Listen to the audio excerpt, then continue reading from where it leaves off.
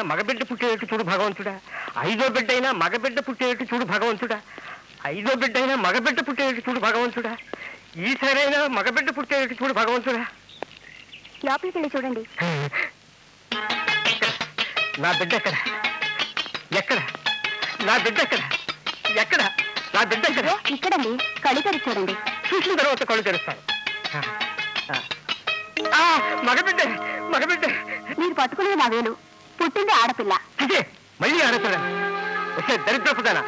మళ్ళీ ఆడపిల్లలే కానీ నా కొంప ముంచావు కదే. ఒకరు కాదు ఇద్దరు కాదు ఐదుగురిని ఆడపిల్లలే కన్నావు.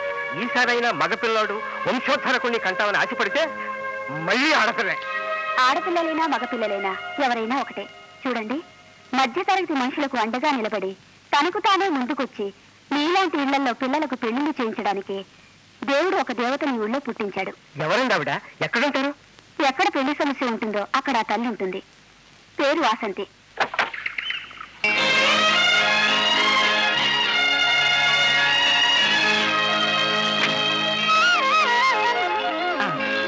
బాపూజీ అనాథాశ్రమం ఎక్కడండి? ఈ సందులో తిన్నగా వెళ్ళి రైతు తిరిగితే మూడేళ్ళేనమ్మా. కొబ్బరి చెట్లు కూడా ఉంటాయి. డ్రైవర్ నువ్వు ఇక్కడే ఉండు. అలాగేనమ్మా. పోతే పోనీ దీని పిల్ల వెనకైపోతుంది దీనికోసం ఎన్ని సంబంధాలు చూశాను? ఏ ఒక్కరు దీన్ని పెళ్ళి చేసుకోవడం ముందు రావడం లేదు. అసలు దీన్ని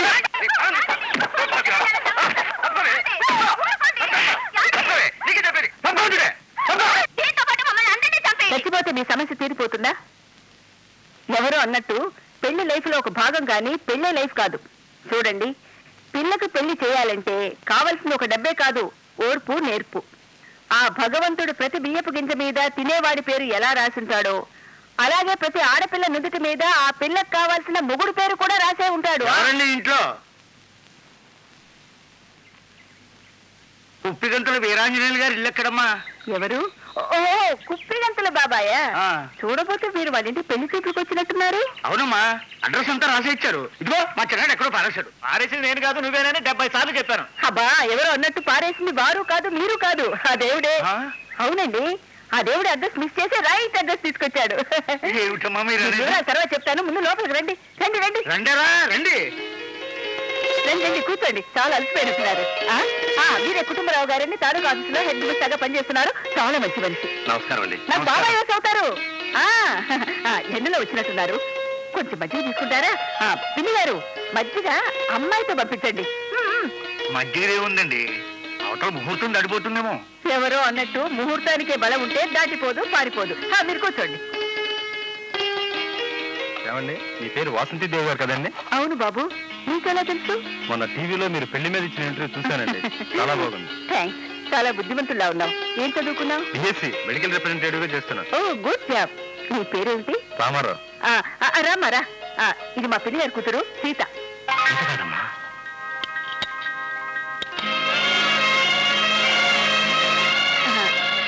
తీసుకోండి.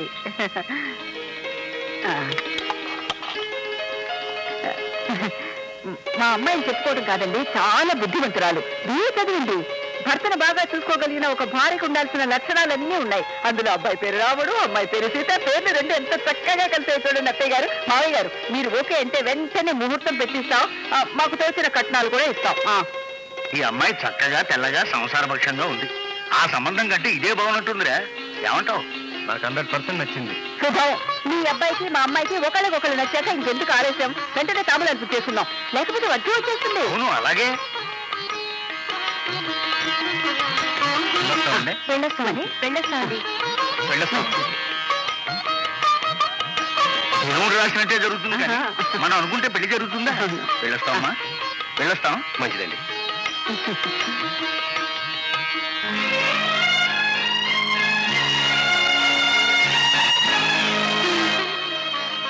బాబాయ్ గారు. ఏమిటండి? మీరు పెద్దవారు నా కాళ్ళ మీద పడితే నాకు ఆయుక్షీణం. తెలుసా? ఆయుక్షీణం మనుషులకే కానీ మీలాంటి దేవతలు కాదమ్మా. ఎవరా లోపల? ఒరే ఈ కుప్పకంతులు వీరాంజనేయ దగ్గర వెళ్తారా నీ కుప్పకంతులు. రారా బయటికి. ఒరే ఈ కుప్పకంతులు వీరాంజనేయుల ఇంటికి వచ్చిన సంబంధాన్ని మీ ఇంటి వైపు చెప్పుకొని నీ కూతురు ఓకే చేసుకోవడానికి నీకు ఎన్ని గుండెలు రా? ఉండేది ఒక గుండె వెళ్ళి డాక్టర్ అడుగు. ఏమో నా పేరు గంట లేదు లేదు ఎందుకంటే ఇలా అరుస్తే అసలు బీపీ పెరిగిపోతుంది? ఆ నా పేరు వాసంతి. ఈ సంబంధాన్ని పట్టుకుంది నేను పుచ్చుకుంది వాళ్ళు.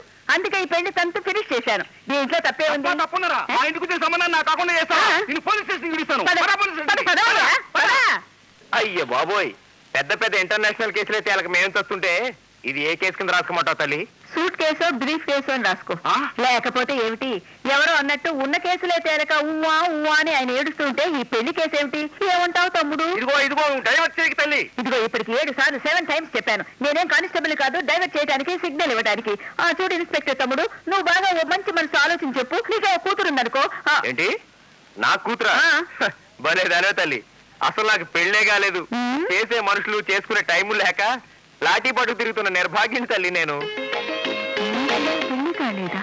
No no no no no no. ఇంత అందం ఇంత పెద్ద పోలీసు ఉద్యోగం నీకు పెళ్ళి కాలేదంటే నేను ఒప్పుకోను. తమ్ముడు కాంతులు పంపించిన అక్కగా ఈ కుప్పయంతల వారి అమ్మాయి? ఆ, మీ అమ్మాయి పేరేంటండి వాణి. నీ పేరేంటి బాబు? ఆ, రమణ రమణ. ఆహాహాహా, ఏం పేర్లు ఏం పేర్లు? వాణి రమణ.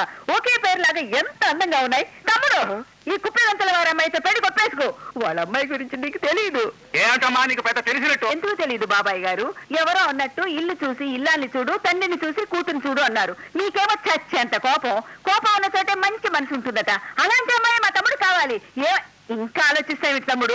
ఇదిగో నీ పోలీసు బుద్ధిని ఉద్యోగం వరకే ఉంచుకో. ఇది జీవితం అయ్యా. ఎవరో అన్నట్టు ఆలస్యం అయితే పాయాసం కూడా విషం అవుతుందట. పద పద పద. ఇదిగో పట్టుకోండి. ఆ, లే పదండి.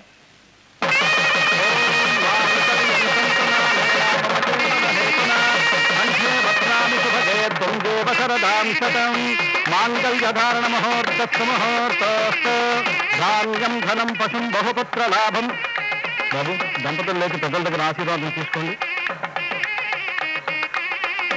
లేదమ్మా మీ దంతని మొదటిసారిగా ఆశీర్వదించే హక్కు ఆ దేవతకు మాత్రమే ఉంది. అవునమ్మా ముందు మీరు వెళ్ళి వాసంతి గారి ఆశీర్వాదం తీసుకోండి.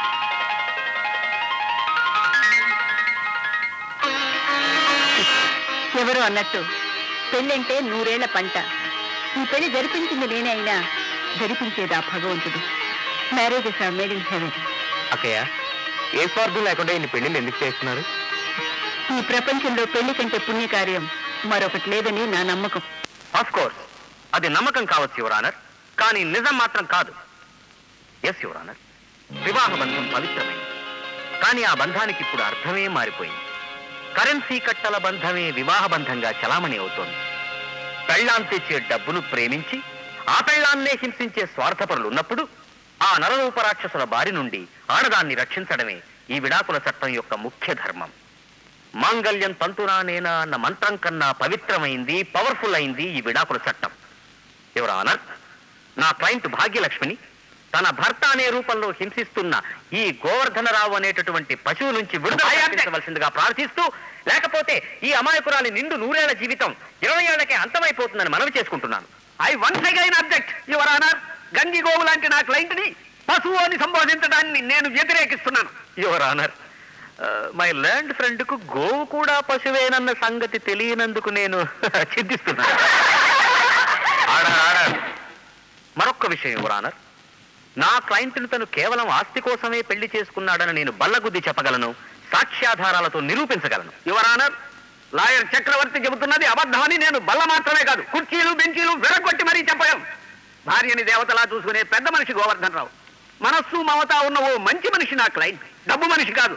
యువర్ ఆనర్ అసలు ఈ గొడవ కారణం నా క్లయింట్ భాగ్యలక్ష్మి తన ఆస్తిని అనాథాశ్రమానికి రాయడమే. అదేసిందా ఎస్ ఇవో డాక్యుమెంట్ అన్నంత పని చేసింది. ఇంకెందుకు ఆ దరిద్రం? నాకు విడాకులు ఇప్పించావయ్యా. మంచి మాట అన్నావు అబ్బాయి. అది కాదయ్యా. విడాకులు వద్దని మనం కేసు పెట్టావు ఇప్పుడు కావాలంటే నా ప్రెస్టేజీ? నీ పోడి ప్రెస్టేజ్ కోసం ఆస్తి నేను దాంతో నేను కాపురం చేయలేదు. విన్నారుగా ఎవరానర్ మిస్టర్ గోవర్ధన్ రావు ప్రేమించింది పెళ్ళి చేసుకుంది భాగ్యలక్ష్మి కాదు కేవలం ఆవిడ ఆస్తిని అనడానికి ఇంతకంటే రుజువులేం కావాలి? అసలు భాగ్యలక్ష్మి ఎవరి పేరిట ఆస్తిని రాయలేదు ఎవరన్నారు ఇవి కేవలం తెల్ల కాగితాలు మాత్రమే. ఇప్పటికైనా కోర్టు వారు నా క్లయింట్ పరిస్థితిని అర్థం చేసుకుని ఆవిడకు విడాకులు మంజూరు చేయవలసిందిగా ప్రార్థిస్తున్నాను అని దట్టాలు ఎవరన్నారు కేసు పూర్వాపరాలు సాక్ష్యాధారాలు పరిశీలించడం మీదట గోవర్ధన్ రావు అనబడే ఈ వ్యక్తి భాగ్యలక్ష్మి అనబడే తన భార్యను డబ్బు కోసమే పెళ్ళి చేసుకుని చిత్రహింసల పాలు చేశాడని కోర్టు విశ్లేషించినందువల్ల భాగ్యలక్ష్మికి విడాకులు మంజూరు చేయడమైనది. గోవర్ధన్ రావు చేసిన నేరాన్ని క్రిమినల్ కేసు కింద పరిగణించి అతనికి ఆరు నెలలు కఠిన కారాగార శిక్ష వెయ్యి రూపాయల జరిమానా విధించటమైనది ఓకే ఓకే ఓకే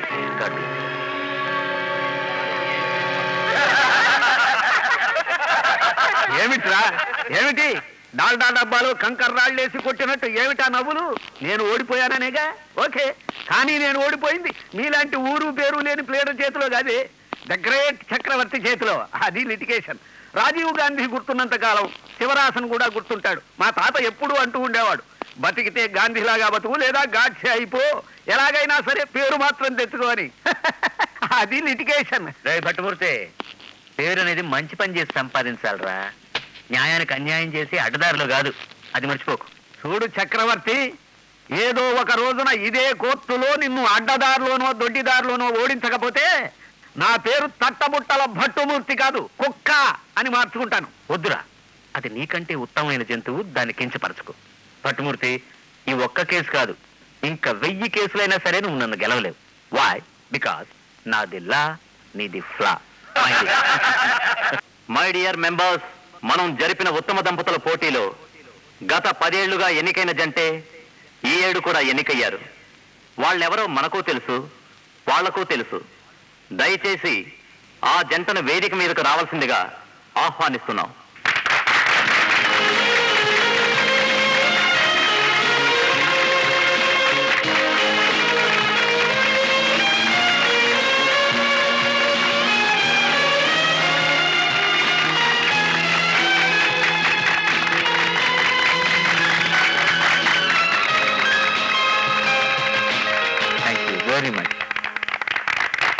చక్రవర్తి గారు మీరు విడాకుల specialist.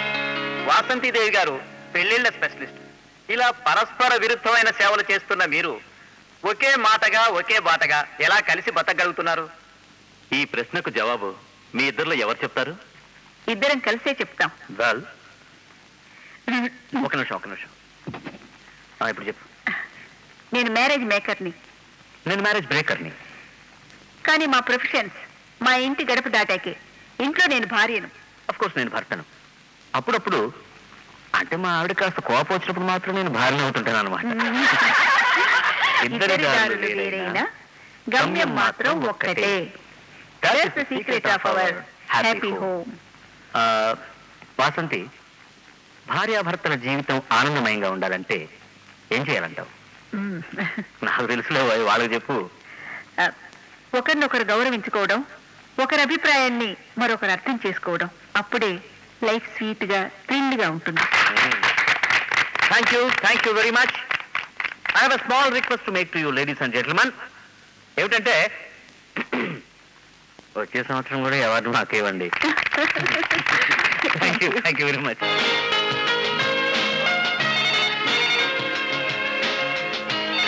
hello Chakravarthi speaking collector గారా? నమస్కారం. సరేలేరా. నువ్వు స్నేహితుడే కానీ డిస్ట్రిక్ట్ కలెక్టర్ కదా మర్యాద ఇవ్వాలి. అడిగాడు స్నేహితుడిగా నీకు మర్యాద ఇవ్వకపోయినా ఒక జిల్లా అధికారిగా నీకు మర్యాద ఇవ్వాలి కదా. Why because of your feature and position ఏమిటి? రైట్ నేను గవర్నమెంట్ కేసులు టేకప్ చేయను కదా నీకు తెలుసా సంగతి? నన్ను వదిలేరా? ఓకే సాయంత్రం క్లబ్లో కలుసుకుందాం. Bye bye have a nice Sunday good morning say the best morning my darling wife why because తెలుసు. ఈ రోజు ఆదివారం. బీర్ తాగొచ్చు. అందుకే best morning there you are అందుకే కాఫీ నీకు బీరు నాకు. ఎవరో అన్నట్టు అమ్మ ఇంట్లో ప్రాపర్టీ మేనమాకు తెలియదా సర్లేండి మీరు తొందరగా టిఫిన్ కానిస్తే నేను ఒక పెళ్ళి రెండు రిసెప్షన్స్ అటెండ్ కావాలి. వసంతి ఆదివారం నాడు కూడా ఏమిట్రా గొడవ? రిలీఫ్ రిలాక్సేషన్ లేకుండా పది మంది వెనకాల పడాల్సిన అవసరం మిస్టర్ చక్రవర్తికి ఉందంటావా? చక్రవర్తి భార్యకి అవసరం లేదు కానీ సమాజం తెలిసిన ఈ వాసంతికి అవసరం ఎప్పుడూ ఉందండి. చూడండి చక్రవర్తి లాంటి వ్యక్తులే అందరి ఆడపిల్లలకు భర్తలుగా దొరకరండి. అందుకే నాకు తోచిన హెల్ప్ ఏదో నేను చేస్తున్నాను ఎవరో అన్నట్టు మన కడుపు నింపుకోవడానికి ముందు పక్కవాడి ఆకలి గురించి ఒక్కసారి ఆలోచిస్తే చాలు. ప్రపంచమే బాగుపడుతుంది. ఎవరో ఏమిటో? ఇంత మంచి మాట నా మంచి భార్య నువ్వే అని ఉంటావు ఎస్ వై బికాస్ అవతల వాళ్ళలో మంచితనాన్ని మాత్రమే చూడడం నీ speciality I'm right you're always right can I have one more beer your honour no why because ఇప్పుడు మా వాడు హౌస్ సర్జన్ చేస్తున్నాడు. దానికి ఎంత ఖర్చు అవుతుందో ఇంకా తేలలేదు గనక బోర్డు మీద రాయలేదు. అది లిటిగేషన్ కనుక పన్నెండు లక్షల కట్నం ఇచ్చే పార్టీ ఏదన్నా ఉంటే చెప్పు. అన్ని ఓకే. కానీ మీ వాడికి పన్నెండు లక్షలు కట్నం ఇవ్వాలంటే అన్ని పార్టీలు ఉన్న ఆడపిల్లలు నాటు ఓకే. ఒక కాలో చేయో లేని పార్టీని తెమ్మంటే ఇరవై నాలుగు గంటల లోపు రెండు పార్టీలు సెటప్ చేస్తాను. మీకు ఓకేనా? లాక్ కొడితే లారీ కింద పడతావు. నేను పన్నెండు లక్షల కట్నం ఇచ్చే పార్టీని తెమ్మన్నాను గాని పార్టీల గురించి ఏమన్నా చెప్పానా? పన్నెండు లక్షలతో కోడలు మా ఇంటికి రావాలి గాని ఓ కాలువ చేయలేకపోతే పోయేదే ఉందయ్యా. నా సైడ్ నుంచి నో లిటిగేషన్. ప్రొసీడ్ అయిపో. మీరు ప్రొసీడ్ అయిపోమంటున్నారు కరెక్టే. కానీ మరి మీ అబ్బాయి సంగతి? మావాడా? నేను గీసిన గీత సచిన దాడ్డు నేను దశరథుడు టైపు మావాడు శ్రీరామచంద్రుడు టైపు. అయితే నీ ముఖానికి ఇంకా ఇద్దరున్నారన్నమాట. పాపం వాళ్ళు ఎన్ని బాధలు పడుతున్నారు? నోరు. మనవాడు బుద్ధిమంతుడు అని చెబుతున్నాను. మనిషిని జీవితంలో చూడలేదు. మనం ఎవరైనా చూస్తారని జ్ఞానం ఉందా? ఇది మెడికల్ స్టూడెంట్ నన్ను. నేను పట్టిన పట్టు చచ్చిన వదలు విక్రమార్కుడు పట్టుమంది. ముద్దిచ్చే తీరాలి.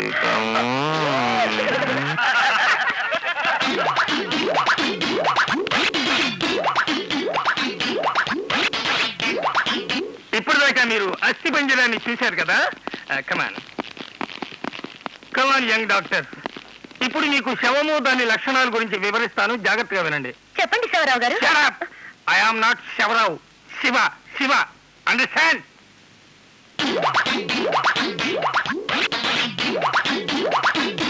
now coming to the point మనిషి చనిపోయిన ఇరవై నాలుగు గంటలు అయ్యేసరికి టోటల్గా జీవకళే తప్పుతుంది.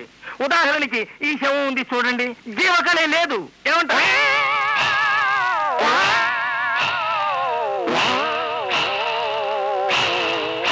శవాన్ని చూడమంటే ఈ శివాన్ని చూస్తారేంటి? ఏం లేదు. జీవకళ శవానికి బాగానే ఉంది కానీ మీ ఫేస్లోనే లేదు ఇప్పుడు దీనికి కళ్ళు తెరిచామనుకోండి మళ్ళీ మూసుకుపోతాయి.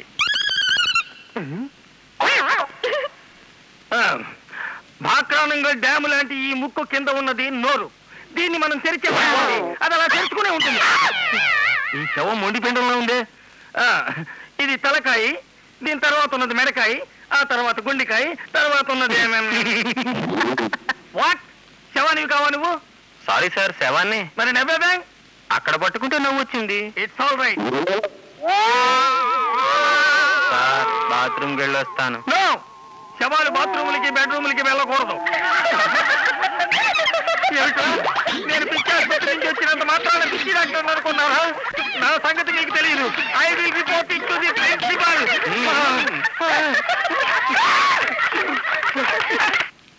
what is this ఇది మెడికల్ కాలేజ్ అనుకున్నారా? చేపల మార్కెట్ అనుకున్నారా? మీరు చదివేది ఎలిమెంటరీ కోర్స్ కాదు డాక్టర్ కోర్స్. ఇది మీకు తెలుసా? అవ్వా! ఇంకో రెండు నెలల్లో సొసైటీలో ఎంతో బాధ్యతాయుతమైన డాక్టర్లు కావాల్సిన మీరు ఇంత చీప్గా బిహేవ్ చేస్తారా? మీ అందరినీ వారం రోజుల పాటు కాలేజీ నుంచి సస్పెండ్ చేస్తున్నా. అంతేకాదు హాస్టల్ నుంచి కూడా సస్పెండ్ చేస్తున్నా. Get out get out sorry sir అసలు తప్పు నాది. నన్ను మాత్రమే సస్పెండ్ చేయండి. వాళ్ళందరినీ వదిలేయండి sir no no no no నేను చెప్తాను. మీరందరూ వెళ్ళపండి. ఆ, పండి. వెళ్ళండి వెళ్ళండి. మిస్ వాళ్ళని పంపేయడానికి డోర్ వాళ్ళనే కాదు నేను తలుచుకుంటే మిమ్మల్ని కూడా పంపేయగలను. What nonsense you're talking అవును సార్ మీరు కొత్తగా వచ్చారో మీకు తెలియదేమో. హెల్త్ మినిస్టర్ మా అంకుల్ ఏ ఇదితే మీకు కావాలంటే ఇప్పుడే సెక్రటరీ ఫోన్ చేసి ఆయనతోనే డైరెక్ట్గా మాట్లాడిస్తాను. మీకు ఏ ఊరికి ట్రాన్స్ఫర్ కావాలో చెప్పండి నిమిషంలో చేయించేస్తాను. నాకు ఏ ఊరికి ట్రాన్స్ఫర్ వద్దు తల్లి. మీరు హెల్త్ మినిస్టర్ గారి తాలూకా అని నాకు తెలవదు. ఇప్పుడు తెలిసిందిగా. నాకు తల్లి. ఏమిటో చెప్పండి తప్పకుండా చేస్తాను. ఏం లేదు. మా బామ్మరిది బెజవాడలో డాక్టర్గా ఉన్నాడు. వాడిని ఊరికి ట్రాన్స్ఫర్ చేస్తే ఓ ష్యూర్. ఒక వారం రోజుల్లో మీ పని ఫినిష్. కానీ సస్పెన్షన్ అవన్నీ ఎప్పుడో మర్చిపోయా. ఏదో కుర్రోళ్ళు ముచ్చట పడ్డారు. ఆ, మరి మా బామ్మరిది విషయం? సార్ మీ బామ్మర్ది విషయం మర్చిపోండి. అతను బెజవాడలో లేడు. హైదరాబాద్ వచ్చి సడన్ మెంటల్గా ఫిక్స్ అయిపోండి. I finish the job within one week చాలా థ్యాంక్స్ అమ్మా. వస్తానండి. మంచిదమ్మా. అమ్మా ఇవాటి నుంచి మా ఆవిడతో తిట్లు తప్పినరా బాబు.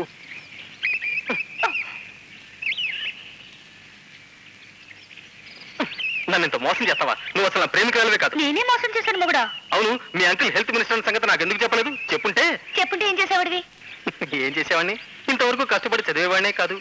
మీ అంకుల్తో ఫోన్ కొట్టించి గబుక్కుని డాక్టర్ పట్ట పట్టేసేవాడిని తెలుసా? సర్లే అలాంటి ఆశలు ఏం పెట్టుకోబాకు. అసలు హెల్త్ మినిస్టర్ ఎవరో వాడి హెల్త్ పొజిషన్ ఏంటో కూడా నాకు నయా పైసా తెలీదు. ఏదో ప్రిన్సిపల్ గారిని గ్రిప్లో తేవడానికి చిన్న సొరకాయ కోసాను అంతే. నిజంగా హెల్త్ మినిస్టర్ నా అంకుల్ అయి ఉంటే నేను చీఫ్ మినిస్టర్ కొడుకుని ప్రేమించేదాన్ని తప్ప నిన్నెందుకయ్యో ప్రేమిస్తాను.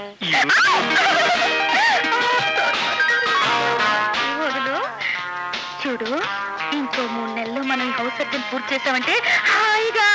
అయిపోవచ్చు లేదు అంతకంటే ముందు మన ఇద్దరు మూడు పెళ్ళాలైపోవచ్చు? అంతవరకు ఈ కౌగులింతలంతో కట్టు. ఒరే బ్రహ్మం వచ్చేసాం వచ్చేసాం వచ్చేసాం ఏయ్ ఎక్కడయ్యా మీ వాళ్ళు ఆ? ఎక్కడ? బాబా ఇక్కడేంటి? మగోళ్ళందరూ నిలబడి ఆడోళ్ళందరూ కూర్చొని కొట్టుకుంటున్నారు. ఎందుకని? అదే నా ఇన్స్టిట్యూట్ కున్న స్పెషాలిటీ. ప్రతి మగ విధవను కూర్చొని టైప్ కొట్టుకోమంటే గంటల కొద్ది ఇక్కడ సెట్లపై మిషన్లు చెడగొడుతున్నారు. అందుకే ఆడవాళ్ళని కూర్చొని మగవాళ్ళని నేర్చుని కొట్టుకోమని ఆర్డర్ వేశాను. మరి మాలాంటి చిన్నపిల్లల సంగతి ఏంటి? పండుకొని కొట్టుకోవాలా? తెలుసు తెలుసున్నాక డిసైడ్ చేస్తాను. దూరంగా ఉండవు. ఏమండి బొట్టుమూర్తి గారు? ఎవరి పెద్ద మనిషి? బాబా ఈ నన్ను పెద్ద మనిషి అంటున్నాడు. వీడు నీకు పెద్ద మనిషిలా కనబడుతున్నాడయ్యా? మనిషిగా కాకపోయినా పెద్దగానే కనిపిస్తున్నాడు.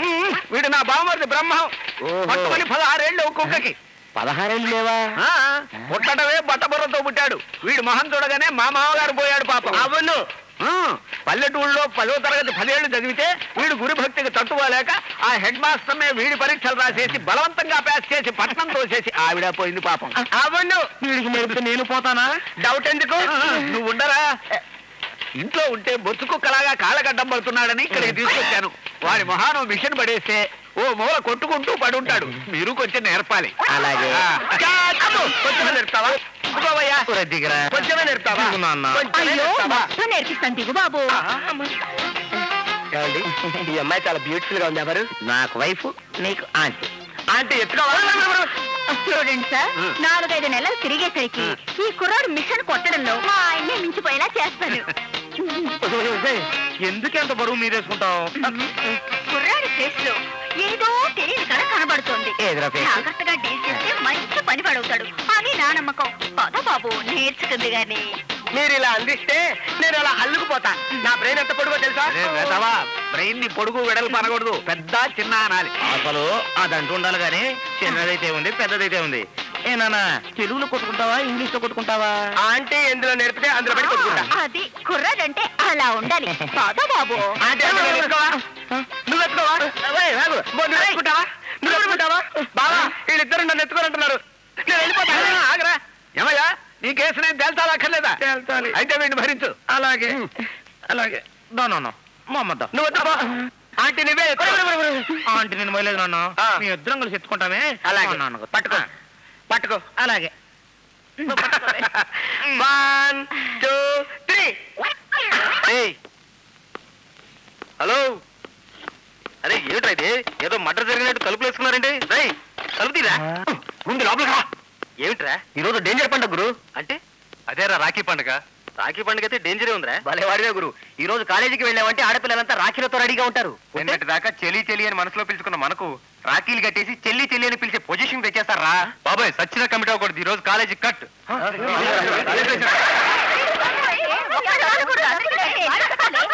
ఒరే ఒరే ఆడపిల్లంతా రాఖీలు పట్టుకుని ఇటే వస్తున్నారా?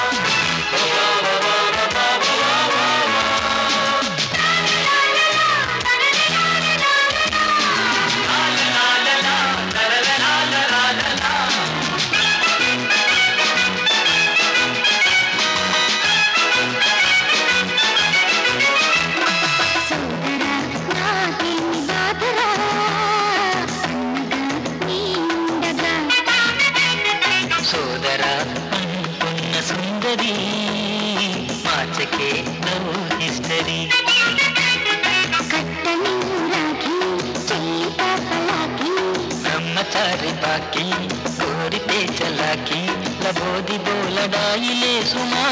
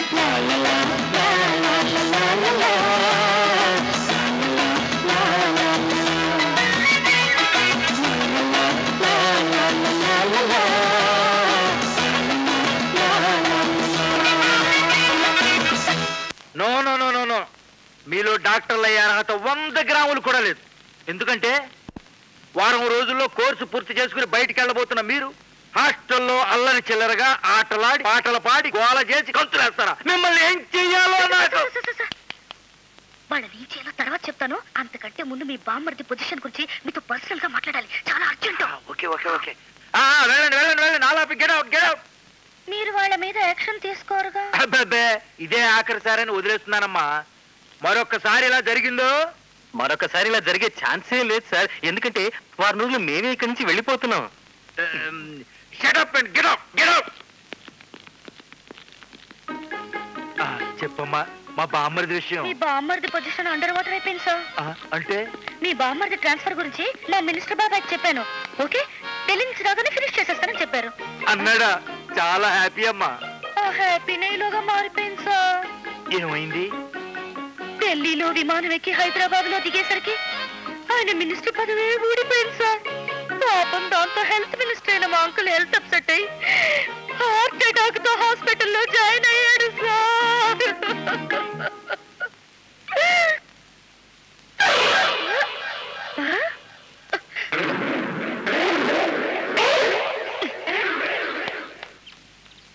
చూడండి భక్తిమూర్తి గారు ఇది పిఠాపురం పార్టీ. పార్టీ లిటిగేషన్స్ నాకెందుకయ్యా? రేటు చెప్పు రేటు. సరే ఎంత ముక్కినా ఐదు లక్షల కంటే ఎక్కువ అని అంటున్నారు. కానీ అమ్మాయికి ఒక కన్ను మెల్ల. గుడ్డి కంటే మెల్ల మేలన్నారు. ఐదు లక్షలు. ఇదేమిటండి? కళ్ళ మీద కాగితం ఎందుకు చేశారు నువ్వు నోరు మూసుకోవయ్యా పంతులు.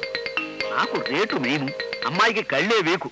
ఆ కళ్ళ మీద అంటించేస్తే అబ్బాయి చూసినప్పుడు ఇబ్బంది ఉండదు కదా? అది లిటికేషన్ తర్వాత చెప్పు. ఇది గూడూరు పార్టీ.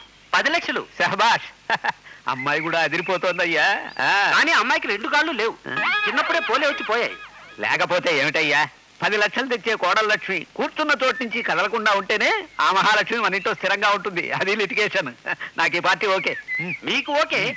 అబ్బాయి కాళ్ళు లేని పెళ్ళాన్ని చేసుకుని ఏం సుఖపడతాడా అని. కాళ్ళు నా పెళ్ళాన్ని చేసుకుని నువ్వేం సుఖపడుతున్నావు? తన్నులు తింటాం తప్ప. డబ్బులుంటే ఎన్ని కాళ్ళు? ఏమండి ఏమండి? అబ్బాయి వస్తున్నాడు. ఆ ఫోటోలన్నీ దాచేయండి. లేకపోతే తంతాడేమో. మూయ్, వాడు నా కొడుకు. ఒరేయ్! దా దా దా దా దా దా దా.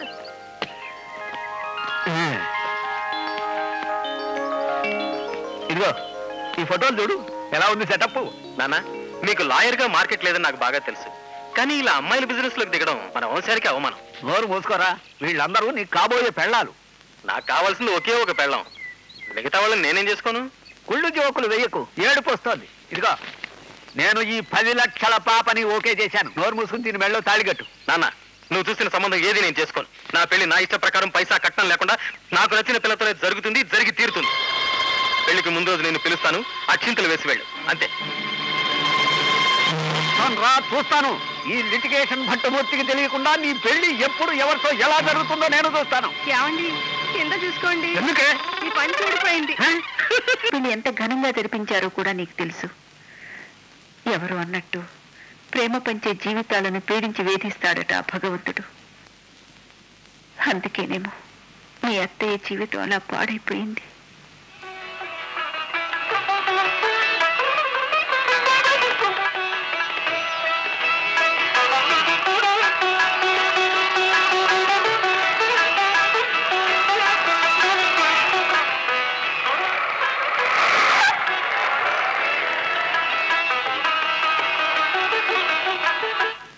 ఆనందంతో అత్తవారింట్లో అడుగుపెట్టిన మీ అత్తయ్య. నెల తిరక్క ముందే బోర్ను ఏడుస్తూ తిరిగి మన ఇంటికి వచ్చేసింది. తన భర్త అత్త మామ పెట్టిన నరక యాతన. చెప్పలేక చెప్పుకుంది. మీ నాన్నగారు తల్లడిల్లిపోయారు. పద్మని తిరిగి వాళ్ళింటికి పంపడానికి ఒప్పుకోలేదు. కానీ పెద్దవాళ్ళందరూ కలిసి లేదు ఇక పద్మను ఇంటికి పంపించే ప్రసక్తే లేదు. ఏమండి? మరొక్కసారి ఆలోచించండి. ఒక్కసారి కాదు వంద సార్లు ఆలోచించినా సరే. దాన్ని అనవసరంగా నరకానికి పంపించి హింసించడం కంటే దానికి విడాకులు ఇప్పించడమే మంచిదని నా అభిప్రాయం? వాసంతి ఇష్టం లేని కాపురాలు చేయించడం కంటే వాళ్ళని విడదీయడమే మంచిది. ఇంకా నేను మార్చుకోలేను నా అభిప్రాయం. ఐమ్ సారీ బాబు సంసారం అన్నాక చిన్న చిన్న సమస్యలు దాకా మానవు. అందువల్ల విడాకులు తీసుకోవడం మంచిది కాదు. బాబు గారు. అది కాదు. ఆడపిల్లన్న తర్వాత భర్త నీడలో ఉండటమే గౌరవం. ఏమండి? తొందరపడి దాని జీవితాన్ని నాశనం చేయకండి. అందరూ కలిసి మీ నాన్నగారిని బలవంతం చేసి ఒప్పించి పద్మను తిరిగి తీసుకెళ్ళారు. కానీ తీసుకెళ్ళిన మూడో రోజునే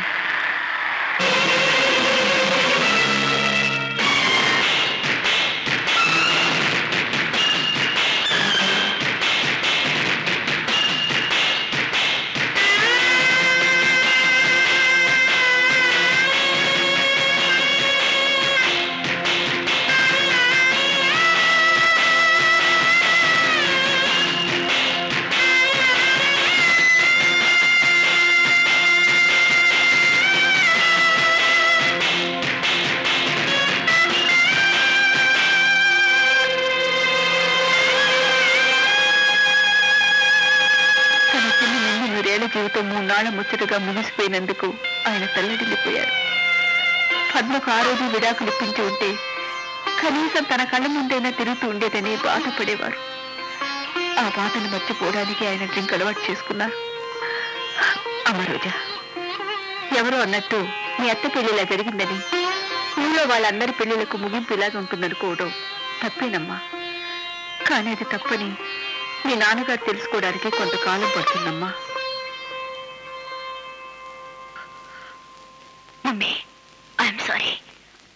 పెళ్ళి విషయం ఇంకెప్పుడు ఇంట్లో ఎత్తాను.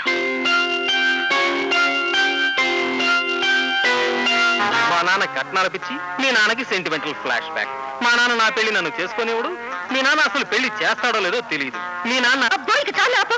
అరగంట నుంచి చూస్తున్నాను మా నాన్న మీ నాన్న అంటూ వాయిస్తున్నావు. ఓకే మన పెళ్ళికి మన పెద్దవాళ్ళు ఒప్పుకోరని తెలిసిపోయింది. ఏం చేద్దాం? ఒక్కటే దారి మన ఇద్దరం కలిసి లేచిపోదామా? చిన్నమ్మాయి లేకపోతే లేచిపోయే కర్మ మనకండి నేను డాక్టర్ నువ్వు డాక్టర్. మన లైఫ్ డిసిషన్స్ మనం తీసుకోలేమా? ఎందుకు తీసుకోలేం? ఓ పని చేద్దాం. ముందు గుళ్ళో పెళ్ళి ఒప్పుకుంటే పెద్దవాళ్ళకి తెలిసినట్టు కాపురం. లేకపోతే సెపరేట్గా క్లినిక్ దాని వెనకే కాపురం. ఓకే? ఓకే. ఓకే. పత్ర పుష్పాన్ని పూజాం సమర్పయామి. మీ మీ నామధేయాలు గోత్రాలు నక్షత్రాలు చెప్పండి బాబు. నా పేరు ఆనంద్ కుమార్. సిగపట్ల గోత్రం రోహిణి నక్షత్రం. మీరమ్మా? నా పేరు రోజా. గోత్రం గోత్రం. ఏ? తెలీదా? తెలీదు. నాకు తెలుసు.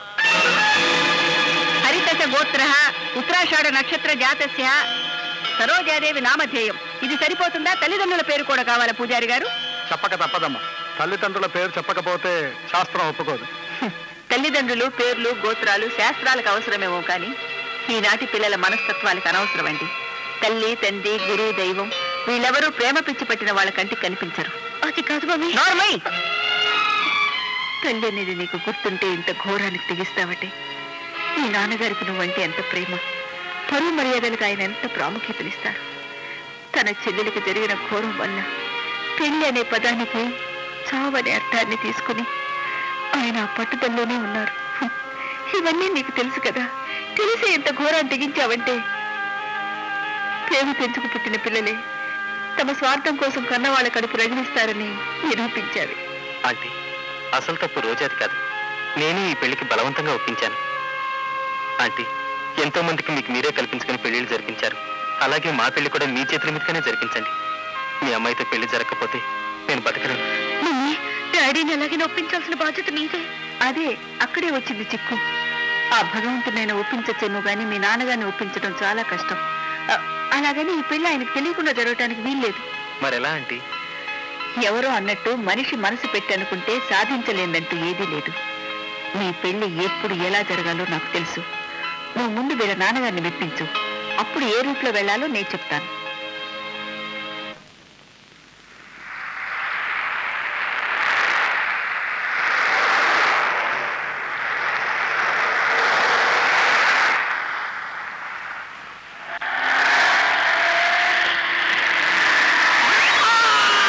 అయ్యో అయ్యో బాబోయ్ కారు గుద్దేసిందిరా బాబో కారు నా మీద ఎక్కేసిందిరా నేను చచ్చిపోయాను నేను చచ్చిపోయాను నేను చచ్చి నన్ను పూర్తి చేయండి నన్ను కాల్ చేయండి ఆ, నేను చావలేదా ఎవరు నువ్వు బతకలేక చావడానికి డిసైడ్ అయిపోయిన అబ్బాయికి సార్ ఈ దుంపతగా చవడానికి నా కారు దొరికిందిరా నీకు? కావాలని మీ కారు సెలెక్ట్ చేసుకుని పడ్డాను సార్. అదేమిట్రా? నా మీద నీకేమన్నా పగ? కాదు సార్. ప్రేమ. మీరు లాయర్ నేను హాఫ్ లాయర్. ఏయ్ హాఫ్ లాయర్ క్వార్టర్ లాయర్ ఏమిటా ఇది? నీకేమన్నా మతిపోయిందా? ఒక్క మతే కాదు సార్. టోటల్గా నా లైఫ్ రివర్స్ అయిపోయింది సార్. అయ్యంగారు డెత్తో నా బతుకు దిగిపోయి ఆరిపోయింది సార్. అయ్యంగారా? వాడోడు. నెల్లూరులో పెద్ద criminal lawyer sir. Oh mister Ramakrishna Iyengar. Yeah I know him. అవును సార్ అవును. వారు పోయారు సార్. పోయరా? అసలు నీకేమవుతారు? ఆయన ఫుల్ లాయర్ సార్ నేను హాఫ్ లాయర్ సార్. హాఫ్లు క్వార్టర్లు అనొద్దన్నా అసలు ఆయన నీకేమవుతారా ఆయన మనిషి కాదు సార్. నా పాలిటి దేవుడు. అమ్మా నాన్న లేని అనాథను చేరదీసి నీరు పోసి పెంచి పెద్ద చేసి ఇలా సగం వరకు చదివించిన మహానుభావుడు సార్. ఆయన పోయాక ఈ అండలేని బతుకు బతకలేక చావడానికి సిద్ధపడ్డాను సార్. తిరిగి తనతో చస్తే నీ ప్రాబ్లం సాల్వ్ అవుతాయా? పైగా లాయర్ అంటున్నావు? అర్ధ లాయర్ని సార్. ఈ అర్ధ లాయర్ ఫుల్ లాయర్ ఏమిటయ్యా? పైగా అయ్యంగారి శిష్యున్నా అంటున్నావు. దిస్ ఇస్ నాన్ సెన్స్ నువ్వు నాతో రా నీకు దారి చూపిస్తాను. Come on come on get get అయ్యంగారో జమీందారు. ఎవరో చనిపోయిన మనిషి పేరు చెప్పగానే కరిగిపోయి ఇలా ముక్కు ముఖం తెలియని వాడిని ఇంట్లో పెట్టి పోషిస్తానడం పద్ధతి కాలేదు. ఎవరో అన్నట్టు దానం చేసిన గుణం తెలిసే చేయాలి. అయినా మీ కందుకు వచ్చిన గొడవ పదే ఇచ్చి పంపించేయండి. ఇదిగో వాసంతి నువ్వు మాత్రం ఇష్టం వచ్చిన వాళ్ళందరినీ పెళ్ళి చేయించట్లేదు. ఏదో ఇబ్బందులో ఉన్న కుర్రాన్ని ఇంటికి తీసుకొచ్చాను. ఇందులో తప్పేంటి? డాడీ ఇతని ఫేస్ చూస్తుంటే ఆ మధ్య మద్రాసులో మాది చేసి తప్పించుకు తిరిగాడే ఒక హంతకుడు. అతని ఫేస్ కట్లా లేదు? అదా నో నో నో నో అమ్మా మనిషి చూడడానికి మొరటగా ఉన్నా మనసు మంచిదే. లేకపోతే అయ్యంగారు నన్ను చేరదీసేవారు కాదు సార్. సరే మాటి మాటికి అయ్యంగారి పేరు చెప్పకురా. నేను చెప్తాను నువ్వు ఫాలో ఓకే? వసు అనాథ పైగా బీదవాడు. ఆ? రాఘరావు గారు వాడు ఏర్పాటు చూసుకొని వస్తాను. అలాగే బాబు.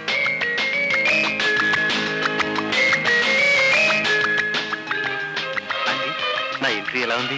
ఎంత బాగానే ఉంది. జాగ్రత్తగా ఉండాలి. ఆ వస్తున్నా.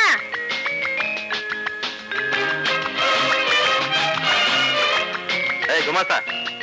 చూడు నేను చక్రవర్తి గారికి మాత్రమే గమస్తాను సరేలే. నా ఏసీ రూమ్ ఎక్కడ? నీకు ఏసీ రూమా. ఓసీగా వచ్చినోడికి ఏసీ ఒకటి. వెళ్ళే వరండాలో పడుకో. క్యాబేజ్ ఎంత బాబు? ఐదు రూపాయలు. సరే. పది రూపాయలు తీసుకుని మంచి ఫస్ట్ క్లాస్ అయిన క్యాబేజ్. అరే పాపట్ముడా మా నాన్నని ఇంప్రెస్ చేయడానికి వంద రూపాయలకి వారం రోజులకు సరిపడా కూరగాయలు తెస్తానని చేతి డబ్బులు మూడు వందలు తీసుకుంటావా? ఈలో ఓవర్ యాక్షన్తో పాటు ఓవర్ ఖర్చు కూడా ఉంది. ఎంత ఖర్చు అయినా సరే. మీ నాన్నగారు ఇంప్రెస్ అయ్యి నువ్వు నాకు దక్కితే చాలు. అయ్యో నీకు కూడా బ్రెయిన్ ఉందే. బ్రెయినే కాదు కిడ్నీ కూడా ఉంది కావాలా? ఛీ!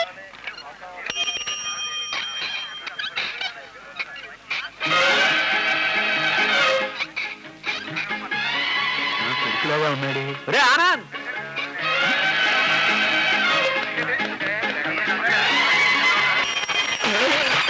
అయ్యయ్యో, నా బండి నా టమోటాలన్నీ నాశనం చేశావు. ఏమయ్యా? అమ్మ నా కొడుక? అమ్మో అమ్మో. నా బండి మీద పడింది కాక నన్ను నా కొడక అంటావా? నువ్వు కాదయ్యా నా కొడుకుని. ఎవడ్రా నన్ను కొట్టింది? నా బండి మీద ఎందుకు పడ్డావు?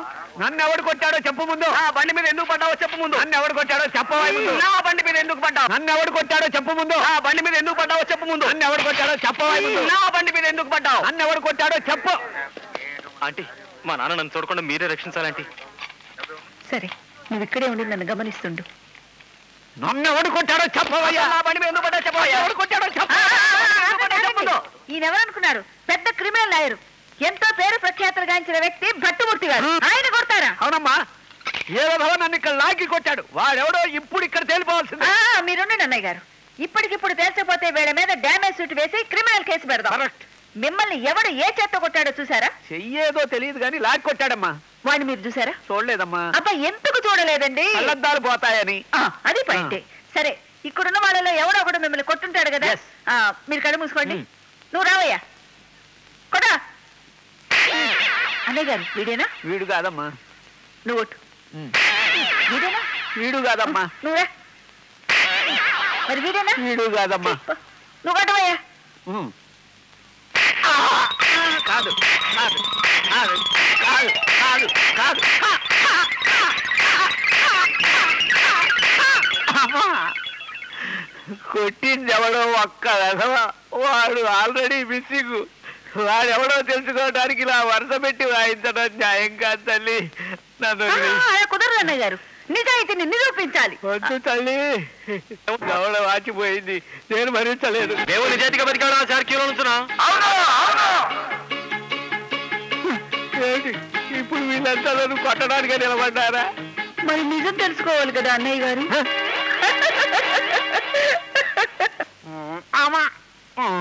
వాళ్ళు కొట్టి చంపారు నువ్వు కాల్చి చంపుతున్నావే మిమ్మల్ని నేనెందుకు చంపుకుంటానండి? అయినా మీరు ఇంకా విల్లు రాయలేదుగా? అవునండి. అంతమంది జనం అలా క్యూ కట్టి మిమ్మల్ని వాయించిస్తూ ఉంటే చూస్తూ ఎలా ఊరుకున్నారండి? ఆ వాసంతి తల్లి ఉన్నారు కదే. నీకు న్యాయం చేస్తాను. నిజం ఇక్కడ తేలిపోవాలని ఉన్న జనం అందరినీ క్యూలో నిలబెట్టి వలస పెట్టి కొట్టించింది. ఆ! నాన్న అమ్మా నాన్నకేమైంది? మీ నాన్నగారిని జనం ఓయ్! దా, కూర్చో.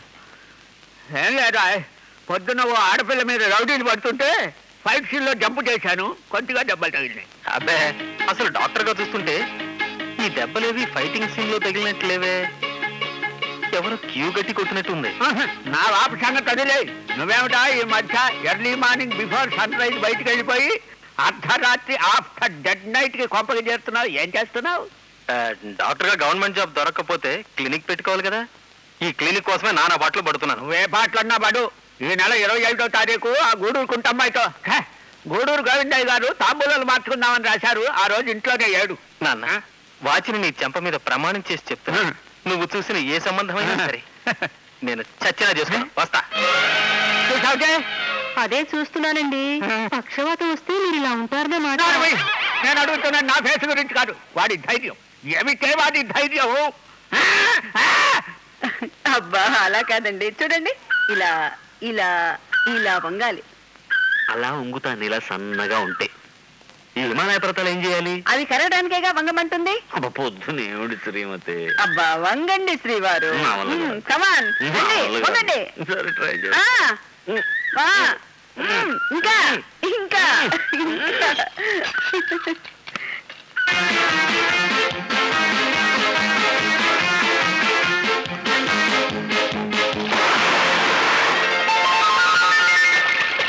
ఏంట్రా ఇంత పొద్దున్నే స్నానం.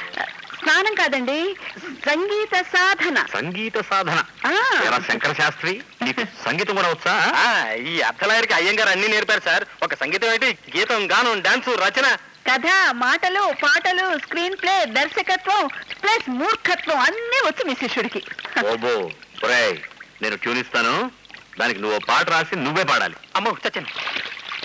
ఏరా రాదా అబద్ధమా? అదే ఏం లేదండి. కింద కాలు జారింది. అన్ని వచ్చు. సరే. అయితే ఇవాళ ఈ పాటతో ఓ పట్టు పడతాను రా రెడీ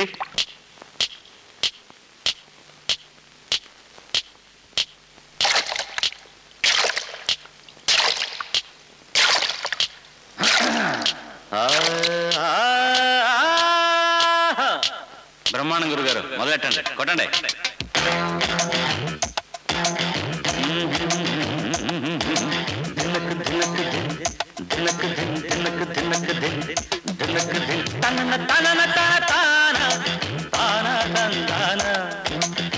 అదేంటండి? తానా తందన అంటున్నారు.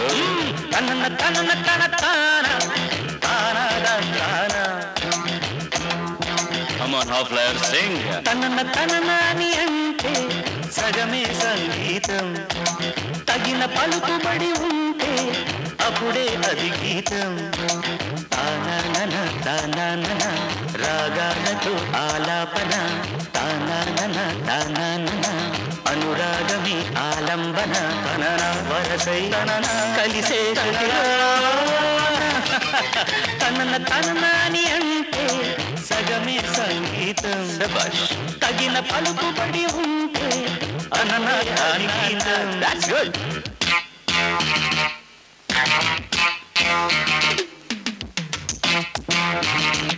అయ్యో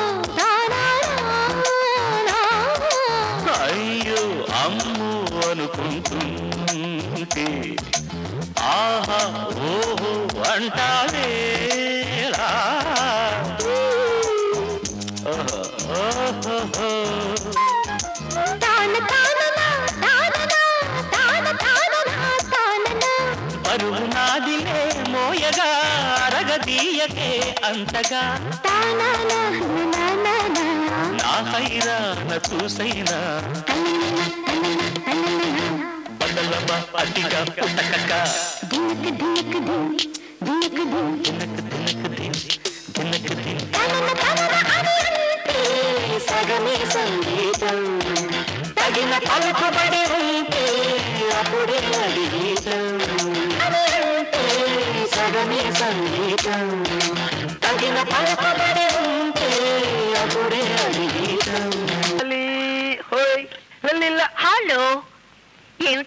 బలపం పెన్సిల్ అంటూ పాట పాడుతూ వస్తున్నావు? ఆంటీ మీ బళ్ళో చేరిన దగ్గర నుంచి. ఎప్పుడెప్పుడు ఎప్పుడెప్పుడు కొడదామా అని ఒకటే అనిపిస్తుంది. వెరీ గుడ్ వెరీ గుడ్ పైకి వస్తావు. ఆంటీ ఆ వంకర మిసాలు డేడి బయటికి వెళ్ళాడు బయటికి వెళ్ళాడా బయటికి వెళ్ళాడా నేను ఇప్పుడే కొడతా నేను ఇప్పుడే కొడతా నేను ఇప్పుడే కొడతానమ్మా. సరే సరే. ముందెళ్ళి ఆ మిషన్ మీద కూర్చో. కూర్చో. అంతే. తుక్కు. తుక్కు అమ్మయ్యా ఇప్పుడు ఎలా కొట్టాలో చెప్పా ఆంటీ. అయ్యో దిగు దిగు. మిషన్ పాడైపోద్ది నువ్వే కదా ఆంటీ మిషన్ మీద కూర్చోమన్నా? అబ్బా మిషన్ మీద కూర్చోమంటే మిషన్ ఎక్కి కూర్చోమని కాదు. మిషన్ ముందు కూర్చోమన్నాను. ఓహో మర్చిపోయాను. మిషన్ ముందు కూర్చోవాలా? అది. ఇప్పుడు చెప్పండి ఎక్కడ కొట్టాలో? ఇప్పుడు ఎడమ చేతి వేళ్ళను. ఏఎస్ డిఎఫ్ మీద పెట్టాలి. A S, D F. మరి ఈ చెయ్యి ఎక్కడ పెట్టాలి? సెమీ కోలన్ ఆ, ఎల్ కే జే మీద ఎల్లేది ఎల్లేది ఎల్లేది బాబాయ్? అయ్యో అయ్యయ్యో. ఎల్లంతా అరిగిపోయింది. పాపం. మరి దీన్ని ఎక్కడ పెట్టాలి? నోట్లో పెట్టుకో. లేకపోతే అంటే బుద్ధి లేకుండా కూర్చోబెట్టి కొట్టిస్తావంటే? నిలబెట్టి కొట్టించో. కొత్తోడు కదా నిలబడి కొట్టలేడని నేనే కూర్చోమని. లేదు నిలబడి కొట్టాల్సిందే. సర్లే నిలబడే కొట్టుకోవయ్యా. మరి నేను కూర్చుని ఎప్పుడు కొట్టాలి? దానికి అనుభవం కావాలి. అనుభవం ఎప్పుడు వస్తుంది బాగా కొట్టడం వచ్చినప్పుడు. బాగా కొట్టడం ఎప్పుడు నేను చెప్తాను నోరు మూసుకో. మా బావతో చెబుతారే అంతే. వద్దు నన్ను. ఏడవకమ్మా. మరి నన్ను ఎత్తుకో. సరే పట్టు. నువ్వు వద్దు ఆంటీ ఎత్తుకోవాలి. అలాగే నాన్న. కొంచెం అంటే ఎత్తుకోవే. నేనెందుకు ఎత్తుకోవాలి? నువ్వే కదా ఏడిపించావు నువ్వే ఎత్తుకో. సరే రారా. రా. ఎత్తుకో. ఎత్తుకో. పాట పాడు. అచ్యుతానంద. ముకుందా నవ్వుతూ పాడు. అచ్యుతానంద. జోజో ముకుందా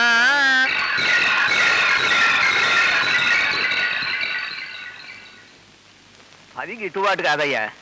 ఇంకో మూడేసుకుని పదమూడు ఇచ్చేయమని. ఇదే పదమూడా? మీరు నేను చెప్తాను. ఏమండి మీరు ఇద్దరు నాకు కావాల్సిన వాళ్ళే. పన్నెండుకి బేరం సెటిల్ చేసేయండి. గిట్టదయ్యా. గిట్టకపోతే వదిలేస్తే పోలే. వదిలేయమని నేను చెప్పింది. సరే మీ ఇష్ట ప్రకారం పన్నెండే ఇవ్వండి. ఎలాగో లాంఛనాలన్నీ మీ లెవెల్లో మేము అడగకుండానే ఇస్తారు కదా. అంతే కదా మరి. అయితే అమ్మాయిని చూస్తే మంచిది కదా అని. మేము అమ్మాయిని చూడక్కర్లేదు. చూడు చూడు ఎందుకైనా మంచిది. అమ్మాయిని ఒకసారి మీరు చూస్తే చాలా బాగుంటది. ఏమే అమ్మాయిని తీసుకురా.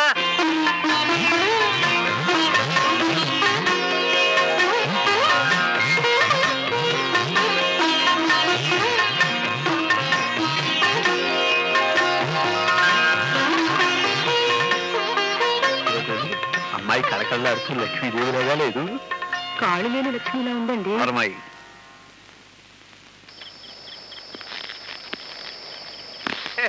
అందులో బంగారం చూసావయ్యా? కూడా బలి కట్టోళ్ళే. ఇల్లు కళ్యాణం నేనే అడ్రస్ మిస్ రాలేదు కదా. అదనమాట. ఎవరా పోయాడువా నేను ఎవరా? నా ఇంట్లో కూర్చుని నన్నే ఎవరిని అడుగుతావా? ఒరే ఒరే ఒరే ఒరే. ఆయన నీ కాబోయే మామగారు రా గోవిందరావు గారు మావాడే డాక్టర్ కదా. ఎంతో మంది చచ్చిపోయే వాళ్ళని బతికించి అలసిపోయి ఆలస్యంగా ఇంటికి వచ్చాడు వెళ్ళు నాన్న పెన్నరాడే భోజనం చేసి పడుకో. రేపు నీ నిశ్చితార్థం. నాన్న నీకెప్పుడు? చెప్పావురా హోండా కారు గురించే కదా. మా వింకుడు గారు ఏమీ కాదంటావు. నువ్వు రా చెబుతా. వాండాం కారు అంటాడేందే వాండాం కారు కాదు హోండా కారు. ఆహా ఎంత అవుతాయిందే ఐదో పది అవుద్ది. ఓహో. ఐదు పది అయితే? వరడది రేపు. తీసిద్దాంలే. నాన్న, నేను పెళ్ళి చేసుకోను. మూసుకో. తెల్లారి తాంబూలాలు గుర్తుకోబోతుండే ఇప్పుడు ఇన్విటికేషన్ ఏంటి నీ సార్థం నాన్న శ్రాద్ధం అవసరం నాకేం తెలియదు నేను ఎట్టి పరిస్థితుల్లో నీ పెళ్ళి చేసుకోను అంతే. నేను చెప్పలేదు. అబ్బాయి ఈ పెళ్ళికి ఒప్పుకోడని నాకు ఎప్పుడూ తెలుసు. వాడి పెళ్ళి కొప్పుకోకపోతే ముందు నేను చంపేస్తాను జాగ్రత్త రేపు పొద్దున తాంబూలాలు గుర్తుంటాను. ఎల్లుండి పెళ్ళి జరిపిస్తాను. అడ్డొచ్చావో? ఇరవై నాలుగు గంటల్లో మీ ఇద్దరికి పెళ్ళి జరిపించాలా? ఎవరో అన్నట్టు పెళ్ళి అంటే బొమ్మలాట కాదు. తెలుసా? తెలుసంటీ కానీ మీరు ఆలస్యం చేస్తే మా బతుకంతా బొమ్మలాట అయిపోతుంది. ప్లీజ్ అమ్మా నువ్వే ఎలాగైనా నాన్న నొప్పించు అవునంటీ మీరే అంకుల్తో చెప్పి మా పెళ్ళి జరిగేలా చేయండి. మీరు చెప్తే అంకుల్ తప్పకుండా వింటారు. ఏమిట్రా?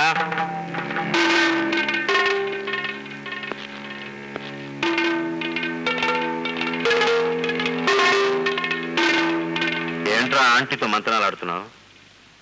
లా పరీక్ష ఫీజు గురించా? పరీక్షే. కానీ లా పరీక్ష కాదు లవ్ పరీక్ష. లవ్వా? ఆంటీ ప్లీజ్ చాలా ఊరుకోవయ్యా. ఎంత అర్ధలైరువైనా మా ఆయన గారి నమ్మిన బంటువైనా అంత డైరెక్ట్ వచ్చి నేను అమ్మాయిని ప్రేమిస్తున్నాను మా ఇద్దరికి పెళ్ళి చేయమంటావా? అసలేంటి నీ ఉద్దేశం? నేనేమన్నా దారిన పోయే దానిలందరికీ పెళ్ళి చేసే పేరమని అనుకున్నావా? అబ్జెక్షన్ వాసంతి వాడు దారిన పోయే దానే కాడే. శిష్య ఆఫ్ ద గ్రేట్ అయ్యంగార్. ఇంతకుముందు నువ్వు అన్నావే నాకు నమ్మిన బంటూ నాకు కావలసిన వాడు. కాబట్టి నువ్వు వాడి పెళ్ళి జరిపించి తీరాల్సిందే. వాయ్ బికాస్ వాడు బుద్ధిమంతుడు గుణవంతుడు ధైర్యవంతుడు శీలవంతుడు. అసలు వాడికి ఏమిటి తక్కువ చెప్పు? తక్కువ ఎక్కువ నాకు తెలియదు నేను మాత్రం ఈ మ్యాటర్లో ఇన్వాల్వ్ కాను. దట్స్ ఆల్ అయితే నేను చేస్తాను మీరు ప్రేమించిన అమ్మాయి ఎవరో కనుక్కొని వాళ్ళ నాన్నతో మాట్లాడి అవసరమైతే పోట్లాడి వాడి పెళ్ళి మనమే చేయిస్తాం. పదరా. వెంటనే వెళ్ళి ఆ పిల్ల తండ్రిని కలుసుకొని నేనే దగ్గరుండి మీ పెళ్ళిని రంగ రంగ వైభవంగా జరిపించి ఈ చక్రవర్తి కత్తికి రెండు పక్కల పదునని మీ ఆంటీకి నిరూపిద్దాం. Come on let's move my boy నువ్వు లేట్ చేస్తే ఆయన హీట్ దిగిపోతుంది. వెంటనే నీ ప్రేయసి పితాశ్రీని చూపించు. వెళ్ళు. Come on my boy let's go let's let's go ఒక్క నిమిషం ఆగండి. సార్ మీరు అనుకున్నట్టు అమ్మాయి తండ్రి మామూలు మనిషి కాదండి. చాలా గొప్పవాడండి. ఏమిటి వాడు గొప్పతనం? ఏమిటి? ఓ డాక్టరా కాంట్రాక్టరా లాయరా? లేక సింగరా? సింగర్ ప్లస్ లాయర్ అండి. సింగర్ ప్లస్ లాయరా? ఎవరు వాడు? వాడు కాదండి వారు. ఆయనే వారు.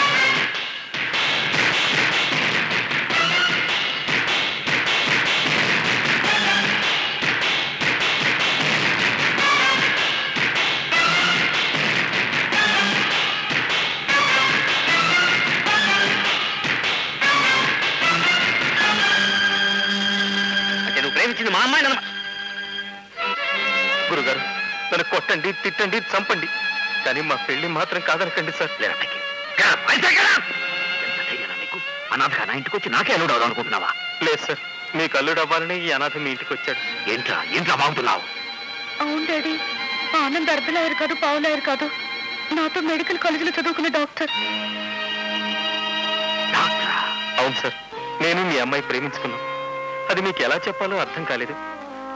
అందుకే నేనేమిటో తెలియడానికే మీ ఇంటికి వచ్చాను.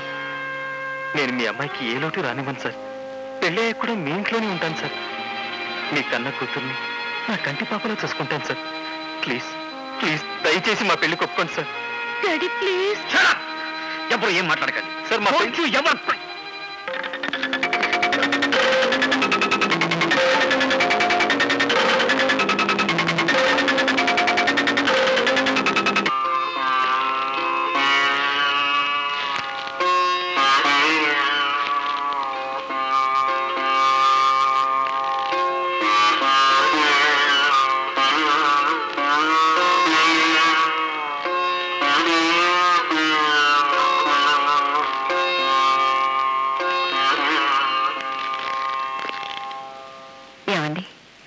మన అమ్మాయితో పాటు తను మన ఇంట్లోనే ఉంటానంటున్నాడు.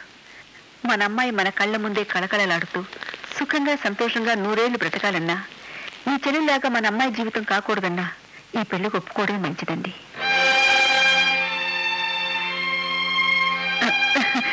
మీరు ఒప్పుకుంటారని నాకు తెలుసు. మంచి ముహూర్తం చూసి పెళ్ళికి ఏర్పాటు చేయించు. మీరు నిజంగా దేవుడు సార్. డైరెక్ట్ ఈ దండాలు అక్కర్లేదు. పెళ్ళైన తర్వాత మా అమ్మాయిని ఇంతకుముందు నువ్వు అన్నావే కంటికి పాపలా అలా చూసుకోవాలి. అప్పుడు నీ మంచితనానికి నేనే నమస్కారం చేస్తాను. అసలు నేను పెళ్ళికి ఎందుకు ఒప్పుకున్నానో తెలుసా? మా అమ్మాయి కోరింది నేను ఎప్పుడూ కాదలేదు yes thank you sir thank you అయితే రేపే పెళ్ళి రేపేనా? ఏమిటంత అర్జెంట్ ఆ, రేపే మంచి ముహూర్తం ఉందండి. వీళ్ళ జాతకాల ప్రకారం ఆ ముహూర్తం కలిసి వస్తుంది. ఓ. జాతకాల దాకా డీల్ చేసావా ఈ విషయాన్ని? పెళ్ళిన తర్వాత అన్ని రకాలుగా చూడాలిగా. రేపే హ్యాపీగా సోషల్ మ్యారేజ్ చేసేద్దాం.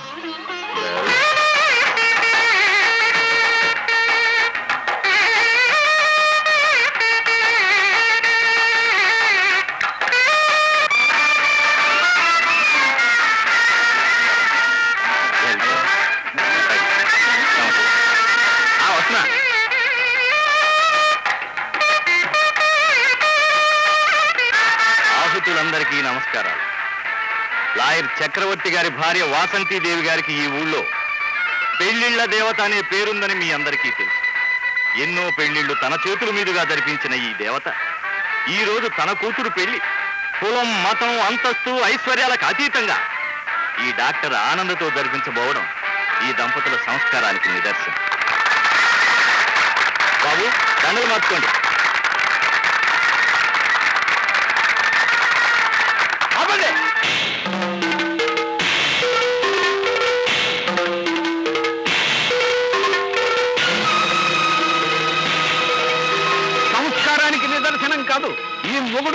లిటిగేషన్ తెలివితేటలకి ప్రదర్శన.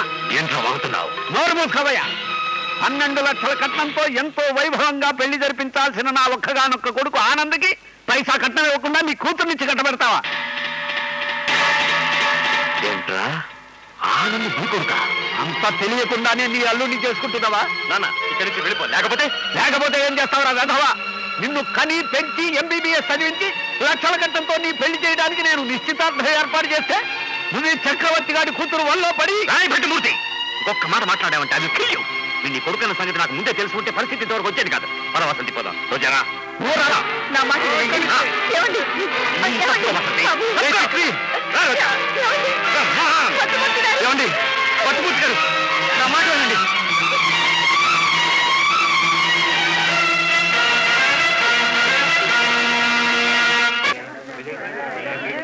ఏమిరా ఆశపోతాడా నీ కొడుకు ఏమైనా ప్రేమలో పడితే నువ్వు కట్టానికి కక్కుతుపడి ఇది నిశ్చార్థం పెడతా. ఊరు గాని ఊరుచ్చావు కాబట్టి బతికిపోయినావు గానీ అదే మా గూడూరులో అయితేనా? నేను నెల్లూరు దాకా కుక్కను కొట్టినట్టు కొట్టుకుంటా పోయి ఆ పెన్నా నదిలో పూడ్చిపెట్టావంటా కరెక్టే కానీ నేను చెప్పేది కూడా పెట్టల పట్ట ముఖం నువ్వు ఇట్టడోని ఇంటికి పెళ్ళి కాదు సాగు కూడా రాకూడదు నక్కను చూపించి కుక్కను అమ్మేసే రకం. ఆ మొహం చూస్తే తెలియటల్లా చిచ్చి. మా నెల్లూరు పట్టారమ్మక గుడ్లు పిక్కి గొల్లలు నడస్తావా ఇంకా ఆడితో మాట్లాడిరా తుంచి ముఖం వాడునా? ఆ, పదండి పదే చిచి నీ మూలంగా నా పరువు కూడా పోయిందా. విన్నావురా? ఒక రకంగా కాదు ఒక పద్ధతిలో కాదు. రకరకాల బండ బూతులు తిట్టెళ్ళారా? నువ్వు చేసిన మోసానికి తిట్టడం కాదు. కొట్టి కొట్టి చంపాల్సింది. వద్దురా ఆయన పోకూడదు. ఎందుకంటే ఆయన ఇంకా ఆస్తి వివరాలు రాయలేదు. ధృతరాష్ట్రుడి కడుపున దుర్యోధనుడిలాగా పుట్టావురా నువ్వు. కాదు హిరణ్యాక్షుని కల్పన ప్రహ్లాదుడి టైపు నాది. నాన్న ఎప్పుడో చెప్పాను ఇప్పుడు చెప్తున్నాను. నా జీవితంలో నేను పెళ్ళంటూ చేసుకుంటే రోజానే చేసుకుంటాను లేకపోతే బ్రహ్మచారిగానే ఉండిపోతాను. చూసావుటే? చూసా ఇందాక మీరు ఆ పెళ్ళి పెద్ద పట్టుపంచ కొట్టేసి పెట్లో దాచేయటం నేను చూశానండి. ఛీ ఛీ ఛీ. బాబు గారు బాబు గారు ఏమిటయా ఏమైంది? అమ్మాయి గారు ఉత్తరం రాసి గదిలో పెట్టి ఇల్లు వెళ్ళిపోయారండి.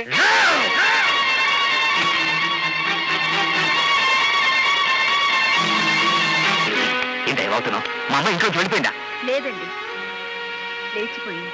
వసంత నువ్వు కూడా పోలీస్గా మన అమ్మ ఇంట్లోంచి లేచిపోయేటంత పిచ్చి పిల్ల కాదే? అఫ్ కోర్స్ తను కావాలనుకున్న వాడిని మీ పట్టుదల కోసం బలి చేసుకునేంత అమాయకురాలేం కాదు. అవునండి. మీ దృష్టి అది చిన్నపిల్ల కావచ్చు. కానీ చదువుకున్న పిల్ల ప్రేమ మమత మమకారం మీ డాక్టర్గానే కాదు. ఓ డాక్టర్గా దానికి బాగా తెలుసు. తను కోరుకునే మనిషితో బ్రతికే అధికారం హక్కు ఓ మనిషిగా దానికి ఉన్నాయి. మీ లాయర్ భాషలో చెప్పాలంటే అది మేజర్ దాని ఇష్టం దాంది. అందుకే మీరు కాదన్న వాడిని తను కావాలనుకుంది కాబట్టే మిమ్మల్ని కాదని వెళ్ళిపోయింది. నో రోజా నన్ను ఎప్పటికీ వదిలిపెట్టవాడు. వసంతి నీకు బాగా తెలుసు. నా కూతురు కోరుకున్న ఏ కోరికను కాదనేటటువంటి మూర్ఖుణ్ణి పిచ్చివాణ్ణి మాత్రం నేను కాదు. కానీ అది అది కోరుకున్నది ఆ భట్టుమూర్తి కొడుకునే భట్టుమూర్తి కొడుకుని. రోజా ప్రేమించింది భట్టుమూర్తి కొడుకుని కాదండి. డాక్టర్ ఆనందని. భట్టుమూర్తి ఎలాంటి వాడైనా కావచ్చు. కానీ ఆనంద్ ఎలాంటి వాడో మీకు తెలియదు సరే ఓకే. ఇప్పుడు ఏం చేయాలో చెప్పు. నాకు కావాల్సింది నా రోజా సంతోషంగా ఉండడం. ఎక్కడుందో చెప్పు వెళ్ళి తీసుకొస్తాను. చెప్పు వసంత. అక్కర్లేదులండి. అమ్మ రోజా.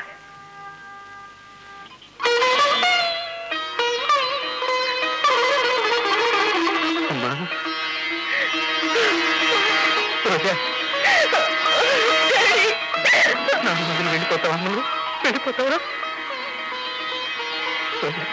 వెళ్ళిపోయేది. అది వెళ్ళిపోతే మీరేమైపోతారో నాకు తెలుసు కాబట్టి నేనే ఆపాను. అవునండి. మీ కన్న కూతురు మీ ముందు ఆనందంగా ఉండాలంటే ఆనందను అల్లుడుగా ఒప్పుకోండి. ఒప్పుకుంటాను కానీ ఒక కండిషన్. ఆ భట్టుమూర్తి గారు మాత్రం ఏ రోజు ఏ క్షణం ఈ కొంపలోకి వీలేదు. అది నేను చూసుకుంటానండి. థ్యాంక్స్ డాడీ అది నాకెందుకమ్మా నిన్ను వెళ్ళకుండా మీ అమ్మకు చెప్పు. అమ్మా నీ వెంటనే వెళ్ళి ఆనందం తీసుకురానా? నోరు మూసుకుని లోపలికి వెళ్ళు ఇప్పుడు మాట్లాడాల్సిన నాన్నతో కాదే వాళ్ళ నాన్నతో. ఆ భట్టుమూర్తిని ఒప్పించి పెళ్ళి జరిపిస్తాను. ఆయన ఒప్పుకుంటాడా? చచ్చినా ఒప్పుకోను.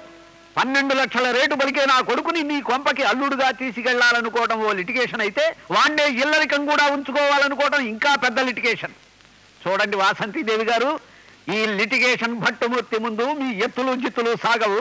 ఇక దయచేయండి. నేను మేజర్ని. పైగా ఒక డాక్టర్ని. ఆయనతో మాట్లాడవలసిన అవసరం నాకు లేదు. చక్రవర్తి గారు ఒప్పుకున్నారు అదే నాకు పదివేలు. పదనంటే వెళ్ళిపోదాం. ఆనంద్ ఎవరో అన్నట్టు పెళ్ళి అనేది తల్లిదండ్రులు ఆశీర్వదించి చేయాల్సిన శుభకార్యం. నువ్వు బయటికి వెళ్ళు. నీ నాన్నగారు నేను ఒప్పిస్తాను. అది కదా నా మాట మీద గౌరవం ఉంటే నువ్వు వెళ్ళు. ఎలా ఒప్పిస్తావు తల్లి? ఏమిటి ఆ లిటిగేషన్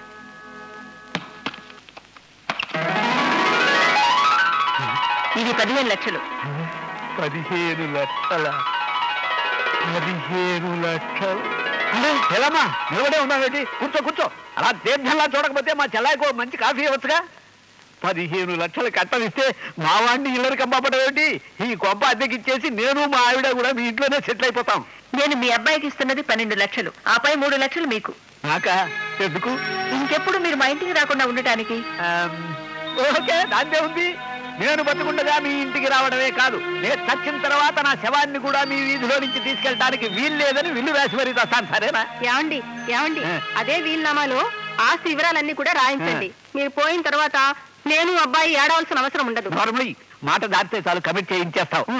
అమ్మా వాసంతి ఈ పెళ్ళికి నా సైడ్ నుంచి ఓకే. ఇక మొదలెట్టండి.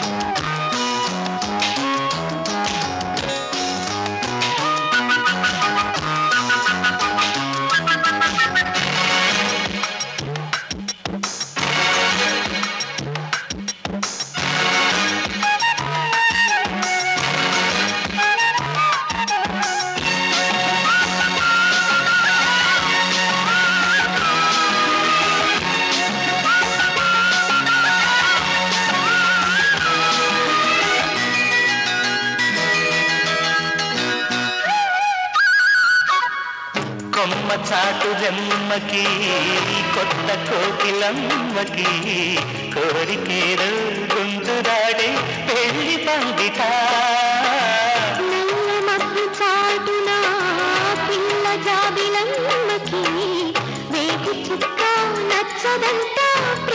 కౌగిట అసలు సొగసు మనసే మనసు విలువ మమతే.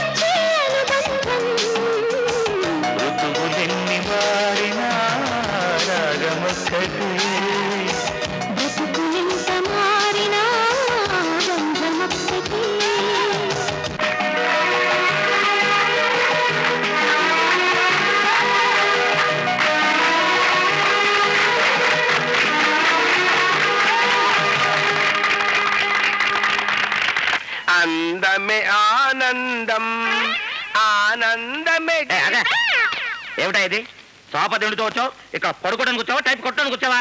అది కాదండి. మధ్యాహ్నం ఆంటీ గారు కుర్చీలో పడుకొని పాపం నిద్రపోయారు. కుర్చీలో పడుకొని నిద్రపోతే నడుము నొప్పుడుతుంది కదా? అందుకే చాప తెచ్చా. చూసారా? నేనంటే ఎంత ఇదో. అబ్బా విద్య అది కాదు ఇది కాదు. నువ్వు కింద టాప్ వేసుకొని పడుకుని ఉంటావు.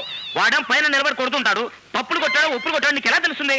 అదేం పాయింట్ కాదు. బాబు ఆ. నువ్వు ఇలా వచ్చి నిలబడి కొట్టు. అలాగే. మీరు లోపలికి వెళ్ళి భోంచేయండి. అలాగే. ఏ మిస్టర్ నించుని జాగ్రత్తగా కొట్టు. మిషన్ ఎరగొట్టకు. దృష్టి మొత్తం విద్య మీద ఉంచు. అలాగేనండి. నా దృష్టి అంతా విద్య మీదనే. వెరీ గుడ్ విద్య అంటే ఈ విద్య కాదురా ఈ విద్య. టైప్ మీద ఉంచు. ఏమే? దూరంగా పడుకుని చూస్తుండు. దట్టి ఫెలో కొట్టడం రాదు కానీ. ఆంటీ నాకు మొదటి నుంచి కొట్టడం నేర్పించవా? ఓ ఎస్ ఆ. A? A? S S D T? F F semicolon? Semicolon.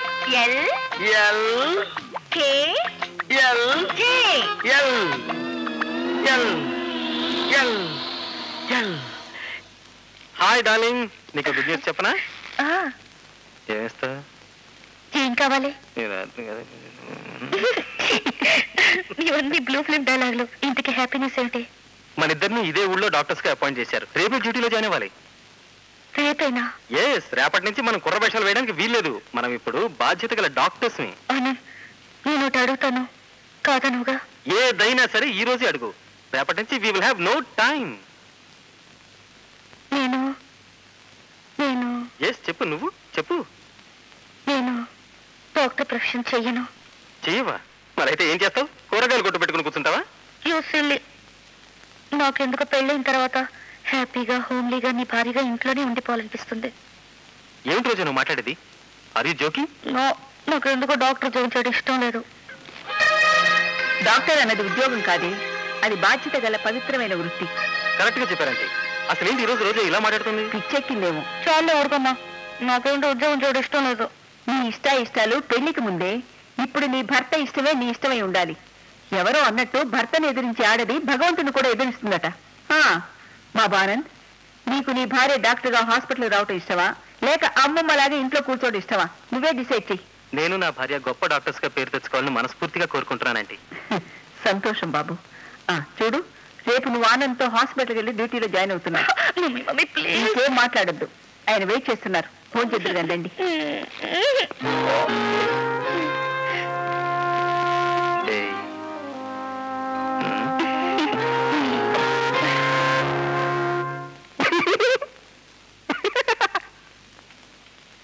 చూడండి మీకు పర్టికులర్గా ఏ జబ్బు లేదు. మీరు తిన్న తిండికి సరిగ్గా ఎక్సర్సైజ్ చేయకపోవడం వల్ల కొలెస్ట్రాల్ బాగా పెరిగిపోయింది. రేపటి నుంచి డైలీ ఎక్సర్సైజ్ చేయాలి? ఇదిగో ఈ టాబ్లెట్స్ మూడు పుట్ల వేసుకోండి. ఆ, ఇంకో విషయం. డైలీ చపాతీలు మాత్రమే తినండి. ఎన్ని తినాలండి? పొద్దున మూడు రాత్రి మూడు. భోజనానికి ముందా తర్వాత? భలేవరే అసలు మీరు భోజనమే మానేయాలి. భోజనం మానేయాలా? తప్పదు. Hi darling. మీకు జోక్ చెప్తాను. రోజా, ఇది హాస్పిటల్. ఈ డార్లింగ్స్ డియర్స్ అని ఇంటి వరకే. Call me doctor. Your doctor mind చాలు ఊరుకోండి మిమ్మల్ని డాక్టర్ అని పిలిచేది. డోంట్ బి సిలీ నేను ఒక డాక్టర్ని నువ్వు ఒక డాక్టర్వి. అది కాదండి. Doctor yes doctor come on go away ఇంటికి రండి చెప్తాను. గుడ్ మార్నింగ్ బాబు గారు బావగారా shut up this is coach chamber I say ఈ బంధుత్వాలు చుట్టరికాలు ఇంటి దగ్గరే. వాయ్ బికాస్ నీ కొడుకునైతే నేను అల్లుడిగా ఒప్పుకున్నానేమో కానీ నీతి నిజాయితీ లేని నేను బంధువుగా కాదు కదా? కనీసం మనిషిగా కూడా ఒప్పుకోలేదు. మైండ్ ఇట్ ఒప్పుకోకపోతే నష్టపోయేది నువ్వేనని మర్చిపోకు చక్రవర్తి. నష్టపోవడం ఓడిపోవడం ఈ చక్రవర్తి చరిత్రలో లేదురా. ఆ చరిత్రని ఇప్పుడు కొంచెం మార్చి రాసుకోవలసిన అవసరం నీకుంది చక్రవర్తి. ఎందుకంటే కోర్టులో నేను నీకు విరోధిని కావచ్చు కానీ నిజ జీవితంలో నీకు వియ్యంకుంది.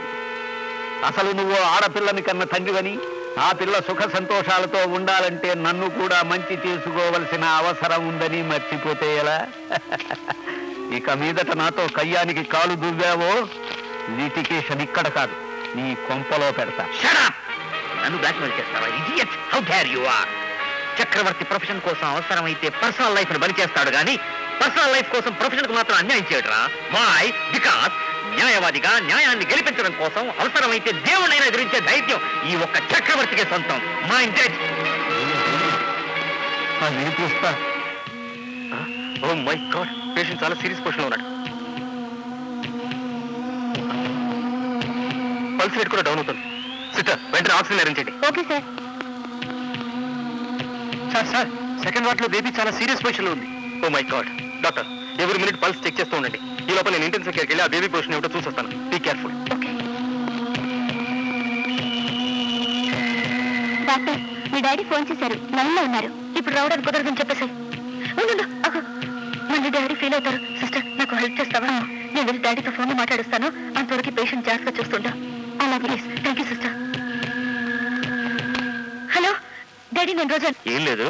సాయంత్రం నువ్వు ఆనంద్ బాలమురళి గారి కచేరికి వెళ్దాం అనుకున్నారు కదా? మీరు తినగా థియేటర్కి వెళ్ళిపోండి. ఆ, రాఘవరావు గారి టికెట్స్ తీసుకొచ్చి అక్కడ మీకు ఇస్తారు. అంతే కదా? చూడండి నేను ఇప్పుడు సీరియస్ కేసు అటెండ్ చేస్తున్నాను. మీకు మళ్ళీ ఫోన్ చేస్తాను. అరే రే, రే, ముందు కేసు అటెండ్ అమ్మా yeah yeah that's very important okay okay. Don't you know the value of the life మీ అజాగ్రత్త వల్లనే ఈ పేషెంట్ చనిపోయారు అది కాదు sir. Don't talk I don't want your bloody explanations మిమ్మల్ని వన్ వీక్ సస్పెండ్ చేస్తున్నాను. ఐ సే గెట్ అవుట్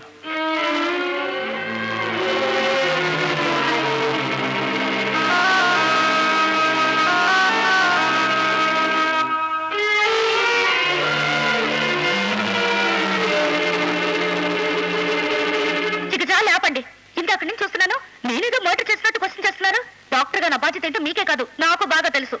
అది తెలుసుంటే ఒక నిండు మనిషి ప్రాణం నిలబెట్టేదానివి కానీ చంపేదానివి కాదు. డోంట్ టాక్ రబిష్ చేసే. నేను చెప్పడం ఏంటి? చచ్చేటేమో చక్క డాక్టరే కాదు దేవుడు కూడా ఆపలేడు. నోరు మూయివే. ఒక డాక్టర్ అయి ఉండి మెట్ట వేదాంతం చెప్పడానికి సిగ్గులేదు చేసింది తప్పు. అది ఒప్పుకోవడం మానేసి నోటికొచ్చినట్టు వాగుతావా? పైగా తాళి కట్టిన భర్తను ఎదిరించి మాట్లాడేంత ధైర్యం వచ్చిందా నీకు? ఆయన ఇష్టం వచ్చినట్టు మాట్లాడితే నేను మాట్లాడకూడదా?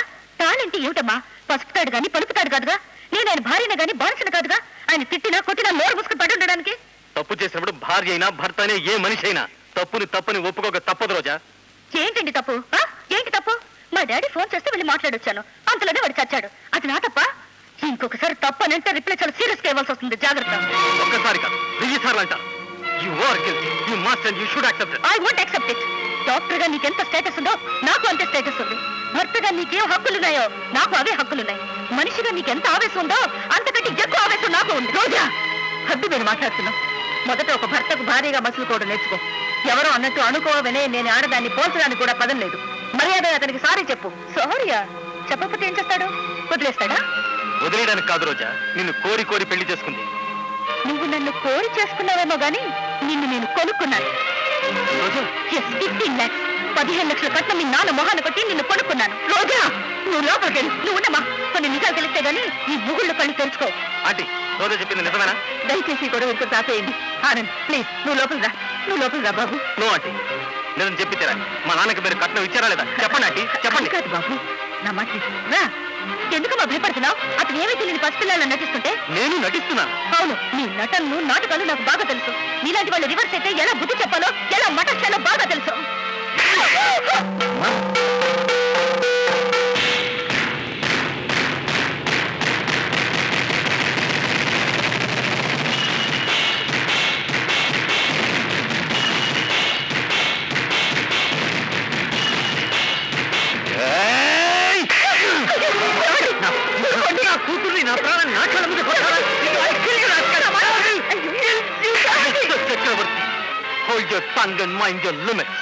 నాకే నీకు నేర్పిస్తాను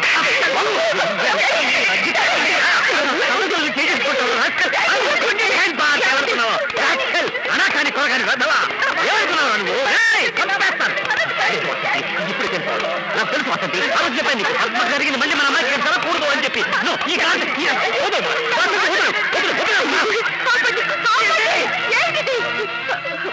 బాబు ఆనంద్ మాట విని బాబు ఇక్కడి నుంచి వెళ్ళి బాబు ఇక్కడి నుంచే కాదండి ఈ ఇంటి నుంచే వెళ్ళిపోతున్నాను. ఇలాంటి సంస్కారం లేని ఇంట్లో ఒక్క క్షణం కూడా ఉండదు?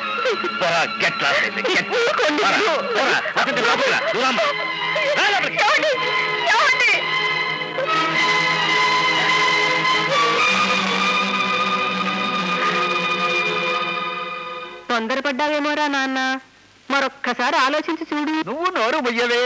ఎన్నాటికి వాడు నా కొడుకు అనిపించుకున్నాడు. దైవ సాక్షిగా వాడు మీ కొడుకేనండి. నన్ను నమ్మండి నోరు ముయ్యి. నా పాయింట్ అది కాదు. ఒరే ఆనందు నిన్ను అవమానించిన చక్రవర్తి గాడి మొత్తం ఫ్యామిలీని లిటిగేషన్లో పెట్టి మొదట కోర్టు పాలు తర్వాత తుప్పల పాలు చేయకపోతే నా పేరు తట్టబుట్టల భట్టుమూర్తే కాదు.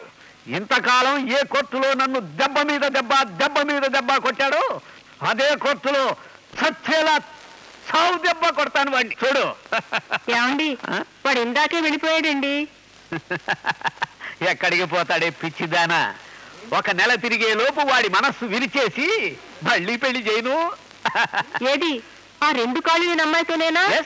ఏమండి? ఆ. వాళ్ళు మళ్ళీ వస్తే మిమ్మల్ని చంపిపోతారేమోనండి. మీరు ఇంకా విల్లు కూడా రాయలేదు.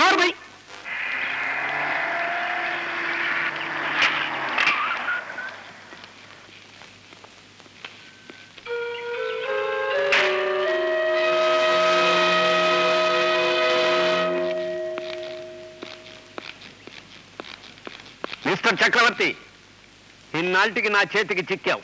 ఇక నీ కూతురు బతుకుని కోర్టుకి ఏడుస్తాను. విడాకుల కోసం మాత్రం కాదు నా కోడల్ని నా ఇంటికి పంపించి న్యాయం చెయ్యండి అని అడగటానికి మాత్రమే. ఈ కూతుర్ని నా ఇంటికి తీసుకెళ్ళి చేతలతో మాటలతో హింసించి హింసించి చిత్రవధ చేస్తాను. అది తలుచుకుని నువ్వు క్షణ క్షణం కుళ్ళి కుళ్ళి చచ్చేలా చేస్తాను. నిన్ను బతుకున్న శవాన్ని చేస్తాను.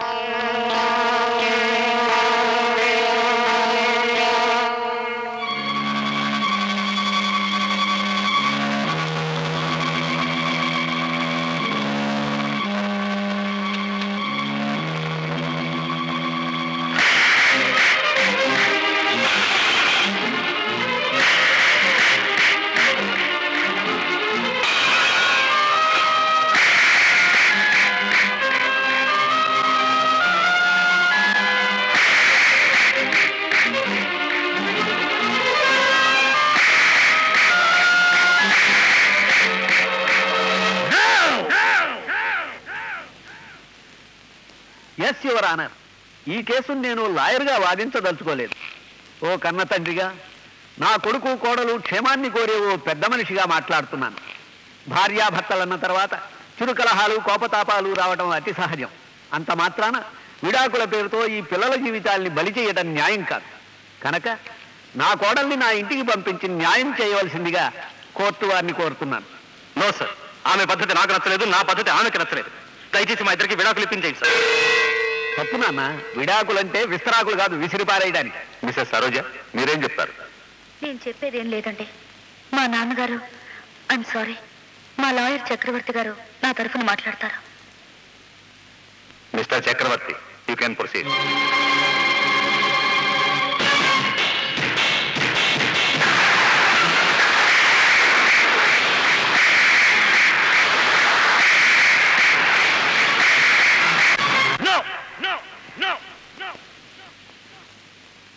Beg your pardon, Your Honor.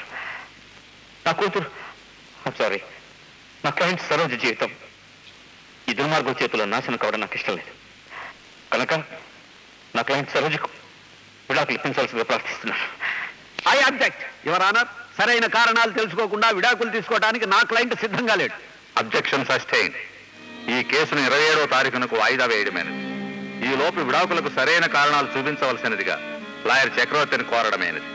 Court No! No!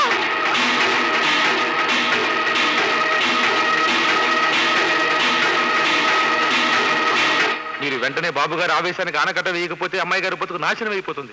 మీరు ఎలాగైనా బాబు గారి బదులాడి విడాకులు గారిని కాదు గారు. నువ్వు నన్ను బతిమలాడ్డం ఏమిటి చెల్లెమ్మా? నేనే మీ కాళ్ళు పట్టుకుని అడుక్కుంటున్నాను.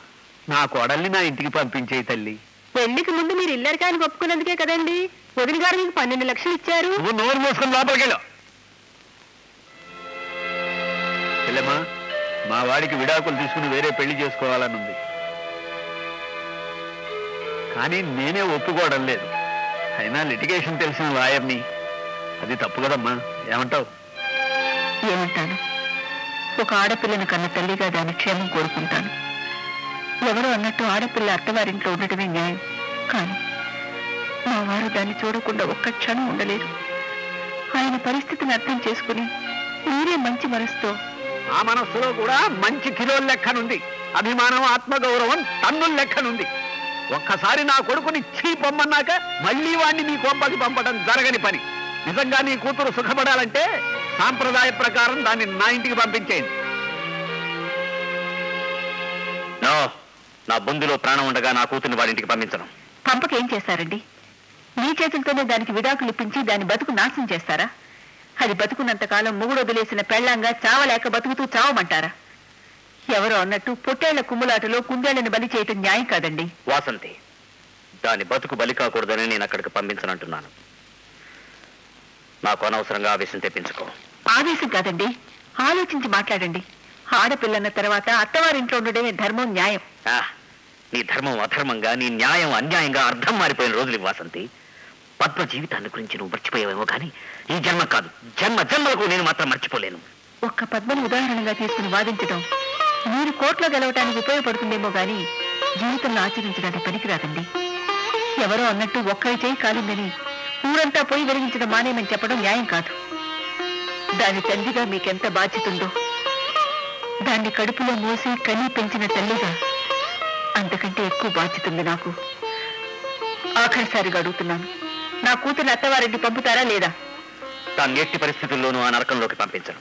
ఇది కేవలం దాని తండ్రిగా చెబుతున్న మాట మాత్రమే కాదు మిస్సెస్ సరోజని రిప్రజెంట్ చేస్తున్న అడ్వకేట్గా చెప్తున్న మాట. అయ్యా అడ్వకేట్ గారు. దాన్ని దాని మొగుడు దగ్గర పంపకపోతే మీరన్న మిస్సెస్ అన్న పదవే మిస్ అయిపోతుంది. ఏమిటి ఏమిటి? క్రాస్ ఎగ్జామినేషన్ చేస్తున్నావు. ఇదేమన్నా కోర్టు అనుకున్నావా? కోర్టు కాదు కాబట్టే కొంగు చాచి నా కూతురికి తాళి బిచ్చి పెట్టమని కోరుతున్నానండి. ఇదే కోర్టు అయి ఉంటే క్రాస్ ఎగ్జామినేషనే కాదు. మిమ్మల్ని ముద్దాయం చేసి నిలబెట్టింది. ఇద్దరు మనుషులైనా మనసులైనా కలిపే హక్కు అధికారం ఈ ప్రపంచంలో ఎవరికైనా ఉంటాయేమో గాని బలవంతంగా ఇద్దరిని విడదీసే హక్కు ఆ భగవంతుడు కూడా లేదండి. Okay. Okay. As Chakravarthi the most successful లాయర్గా ఈ మ్యారేజ్ నేను బ్రేక్ చేయబోతు సరిగ్గా చెప్పు నువ్వే చెప్పు. చెప్పు. కమాన్ చల్ మే సై చల్ మీ ధర్మాన్ని నమ్ముకున్న నాకు ధైర్యం ఎప్పుడు ఉందండి? మీరు కోర్టులో వాళ్ళని విడదీస్తే నేను జీవితంలో ఒకటి చేస్తాను. There you are Mrs Vasanthi marriage మేకర్గా నువ్వు ఎంతో మంది జీవితాలతో డీల్ చేస్తే మ్యారేజ్ బ్రేకర్గా నేను డీల్ చేశాను. కానీ నువ్వు కలిపిన ఏ దంటను నేను విడదీయలేదు. నేను విడదీసిన ఏ దంటను నువ్వు కలపలేదు. ఒక్క ఈ కేసులో తప్ప. సో వాది ప్రతివాది ఒకే ఇంట్లో ఎలా ఉండకూడదు? పోలీస్ ఆఫీసర్ హంతకుడు ఒకే ఇంట్లో ఎలా ఉండకూడదు? ఈ కేసు తేలే వరకు నువ్వు నేను ఒకే ఇంట్లో ఉండకూడదు. ఇప్పుడు చెప్పు. ఈ ఇంట్లో నువ్వు ఉండాలో నేను ఉండాలో తెలిసి చెప్పు.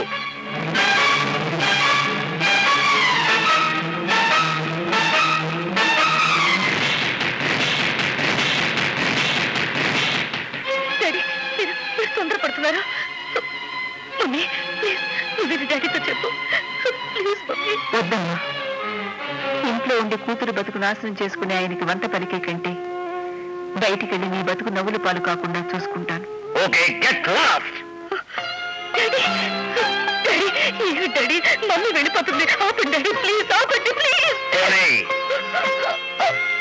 మమ్మీ అమ్మా నువ్వు వెళ్ళకమ్మా ప్లీజ్ నువ్వు వెళ్ళొద్దు. ఇదే మాట ఆ రోజు నీ భర్త వెళ్ళేటప్పుడు అనుంటే ఇంతవరకు వచ్చేది కాదు. నన్ను వెళ్ళని రాఘవయ్య గారు మీ ఇంట్లో నాకు ఇంత ఆశ్రయం ఏ ఇస్తాను మాట మాది. ఊళ్ళో ఉండే దేవత తానే గుడిసెలోకి వస్తానంటే కాదనగలనా? కానీ ఒక మాట తల్లి. ఏమిటన్నది ఈ ఇంటి మహాలక్ష్మి మీరు. మీరే ఇల్లు విడిచి వెళ్ళిపోతే. మహాలక్ష్మి కూడా అప్పుడప్పుడు దూరం అయితే గాని మనుషులకు దాని విలువ తెలియదంటారు. అందుకేనేమో లక్ష్మీదేవి కూడా శాశ్వతంగా ఎక్కడా ఉండదట. పదండి.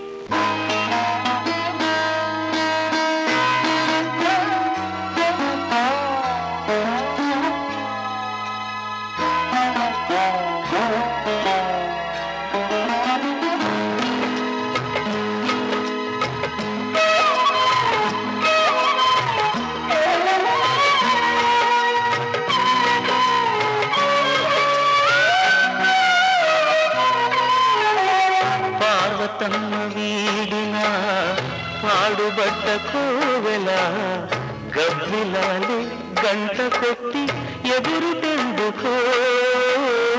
వేపు వచ్చి తాకిన వెన్నెలమ్మ నీడలా. దిగులు పడ్డ దీపమేద వెలుగుతోలను.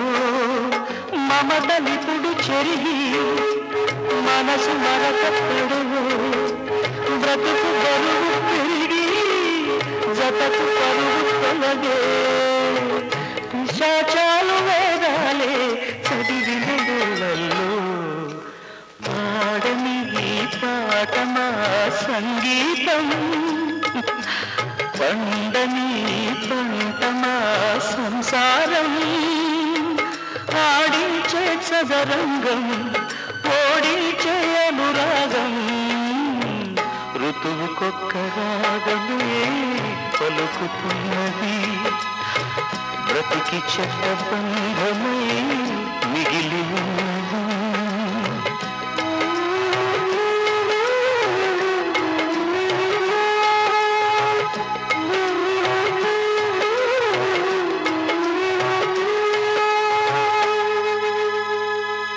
ఇంకో మూడు రోజుల్లో అంటే ఇరవై ఏడో తారీఖున జడ్జిమెంట్ వస్తుంది. ఆ చక్రవర్తి గాడు ఓడిపోక తప్పదు నేను గెలవక తప్పదు. నువ్వు గెలవడం అన్నది కల్లో మాట పట్టుమూర్తి.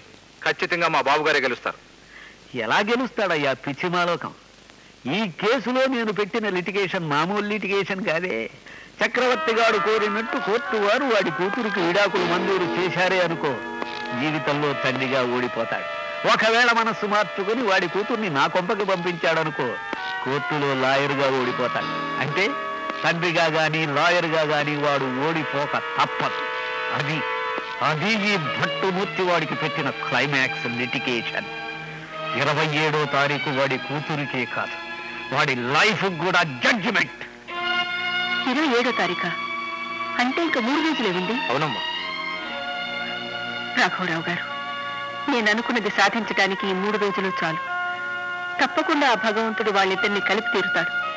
ఒకవేళ నేను అనుకున్నది సాధించలేకపోయానంటే మూడో రోజు నా కూతురు అల్లుడు కోర్టులో విడిపోయినా నాలుగో రోజు నా దగ్గరికి కలిసే వస్తారు. నా శవాన్ని చూడటానికి. Hello doctor Anand speaking. నమస్కారం బాబు. ఒక ఆడపిల్లను ప్రేమించి పెళ్ళి చేసుకుని ఏడాది తిరక్క ముందే తొందరపడి వదిలేస్తే ఆ పిల్ల బతుకు ఎలా తయారవుతుందో తెలుసుకోవాలంటే అర్జెంటుగా హోటల్ రాజు రెండు వందల పదహారుకు రండి? హోటల్ రాజు? హలో ఏముంది రాజకి? Hello hello. హలో. అమ్మాయి గారు మీకు తాళి కట్టిన భర్తని మీరు నిర్లక్ష్యం చేస్తే ఏమవుతుందో తెలుసుకోవాలంటే వెంటనే హోటల్ రాజు రూమ్ నంబర్ రెండు వందల పదహారుకు రండి.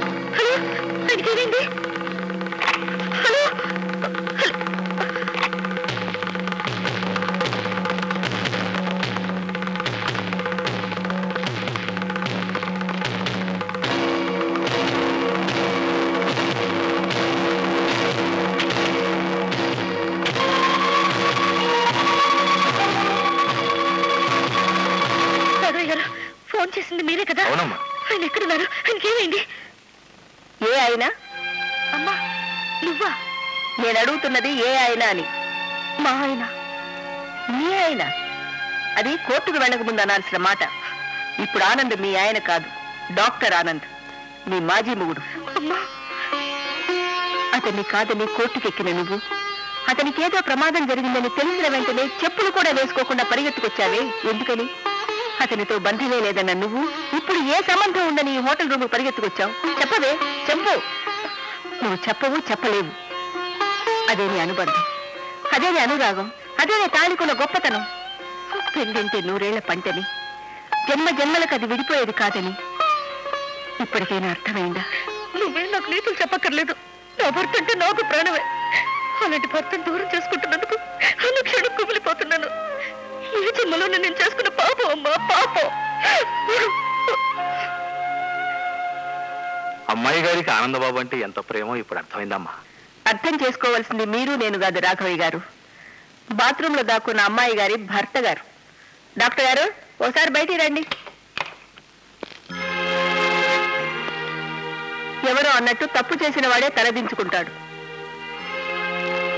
మీ నుంచి దూరం అవ్వాలనుకున్న మీ భార్యకు మీరంటే ఎంత ప్రేమో చెవులారా విన్నారుగా? ఇంటికెళ్ళి ఆలోచించి ఆ తర్వాత నిర్ణయం తీసుకోండి. ఎవరో అన్నట్టు కలిసిపోవడానికి ఒక్క క్షణం ఆలోచించకపోయినా పర్వాలేదు. కానీ విడిపోవడానికి లక్ష సార్లు ఆలోచించి ఆ తర్వాత నిర్ణయం తీసుకోవడం మంచి వాళ్ళ లక్షణం.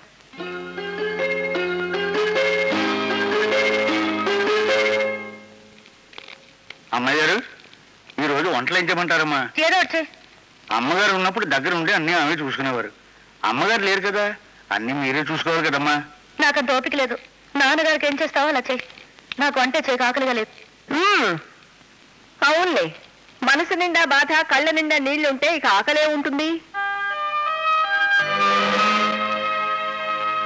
రావయ్య ముత్తు అమ్మాయి గారి నిరాహార దీక్ష కోసం నా భర్త కడుపు కాల్చడం నాకు ఇష్టం లేదు. పద. నీ భర్త నిన్న ఇంట్లోకి రావద్దన్నాడు. ఎందుకు వచ్చావు మ్మ్, మంచి ప్రశ్నే వేశావు. ఏమిటి అన్నావు? నా భర్త నన్ను ఇంటికి రావద్దన్నారనా? అవునే అంటాడు. ఆయన మగాడు. మొగుడున్న తర్వాత లక్ష మాటలు అంటాడు వాటన్నిటిని ఓర్పుతో సహించి భరించేదేనే ఆడది?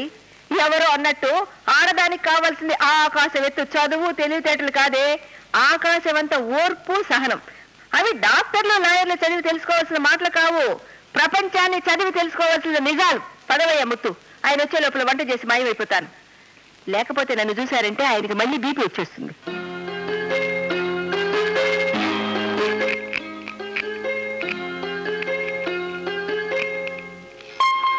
ముత్తు. అమ్మా.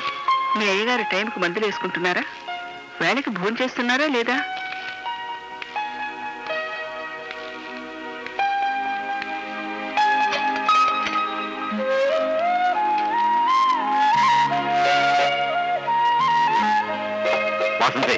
ఎందుకు వచ్చావు ఇంటికని? మీ కూతురు అడిగినట్టు మీరు అడగరని నాకు తెలుసు.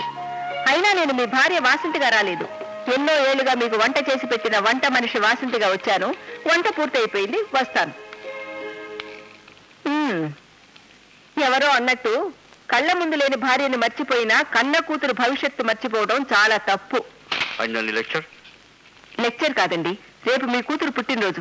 ప్రతి ఏడు గుడికి తీసుకెళ్తుండే దాన్ని. ఏడు నేను గుడికి తీసుకెళ్ళడానికి రెడీ. కానీ అది రాదని నాకు తెలుసు.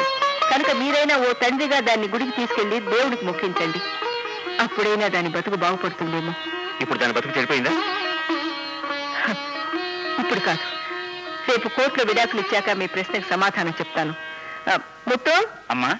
అయ్యగారు అడిగినా సరే చచ్చిన నేవేయబోకు అలాగేనమ్మా. వస్తాను. తప్పుకోండి.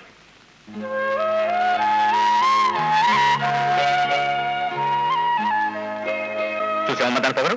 వచ్చింది వంట చేసింది. ఓటించాలొచ్చుగా? నేను పెడతాను రా నాన్న. ఆ, రమ్మా. భోజనం చేద్దాం. ఏం అది లేకుంటే మనకు రోజులు గడవా? లేక ముద్దదే కదా? ఏంటో? రేపు నీ బర్త్డే కదా. గుడికి వెళ్దామా? డాడీ మీరు గుడికి వస్తారా ఏమ్మా నీ గుడికి రాకూడదా? అది కాదు డాడీ నీకు దేవుడంటే నమ్మకం లేదుగా? అఫ్ కోర్స్ నాకు వృత్తిదయం అనుకో. ఆ, ఆయన నీకోసం వస్తాను. మీ అమ్మ చెప్పినా కాదులే నా అంతా నేను తీసుకెళ్తాను గుడికి. ఆకలిస్తుంది.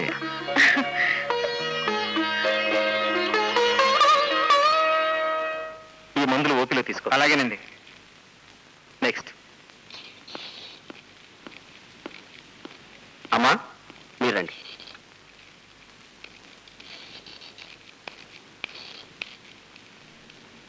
అంటే మీరు? కూర్చో బాబు. నేను ఇక్కడికి ఆంటీగా రాలేదు. పేషెంట్గా వచ్చాను. మీకేమైందంటే? మనోవ్యాధి. ఎవరో అన్నట్టు మనోవ్యాధికి మందు లేదని నాకు తెలుసు. అయినా నా మనోవ్యాధికి మందు ఇవ్వగల డాక్టర్ నువ్వు ఒక్కడివి అదే బాబు రోజా విషయం. సారీ ఆంటీ రోజా గురించి మాత్రం ఏం చెప్పకండి. అది వినే తీరిక కోరిక రెండూ లేవు. అయినా తీరిపోయిన కథను తిరిగి రాయాలనుకోవడం చాలా తప్పని ఒక రచయిత్రిగా మీకు బాగా తెలిసి ఉంటుంది. తెలుసు బాబు. పెద్దవాళ్ళ పంతాలకు పిల్లల జీవితాలు బలి కాకూడదని ఓ రచయిత్రిగానే కాదు. అనుభవం ఉన్న స్త్రీగా ఓ ఆడపిల్ల తల్లిగా నీ పెళ్ళి చేసిన పెద్దగా కూడా మనసారా కోరుకుంటున్నాను. త్వరలో మీరు ఎలాగో విడిపోతున్నారు. అదే బాబు. రేపు రోజా పుట్టినరోజు. ఒక్కసారి. ఆఖరిసారి. రేపు రామాలయానికి వచ్చి దాన్ని ఆశీర్వదించు. ఇది నా కోరికే కాదు. రోజా ఆశ కూడా. అంటే నేను చెప్పేది వినండి. బయట పేషెంట్స్ వెయిట్ చేస్తున్నారు. నీ టైం వేస్ట్ చేయడం నాకు ఇష్టం లేదు. మిస్ చేయమని ఆశిస్తున్నాను. ఆంటీ. అమ్మాయి గారు అమ్మాయి గారు ఆనంద్ బాబు గారు మీకు ఈ ప్యాకెట్ ఇమ్మన్నారమ్మా.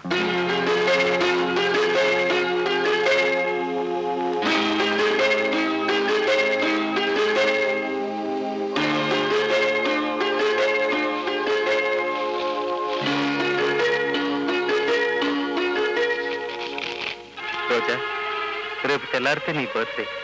అందుకే ఈ ప్రజెంటేషన్ ప్రేమతో పంపుతున్నాను. నీకు గుర్తుందా రోజా? పోయిన సంవత్సరం నీ బర్త్డేకి నీకు గ్రీటింగ్స్ చెప్పాలని. సరిగ్గా అర్ధరాత్రి పన్నెండు గంటలకి హాస్టల్కి వచ్చాను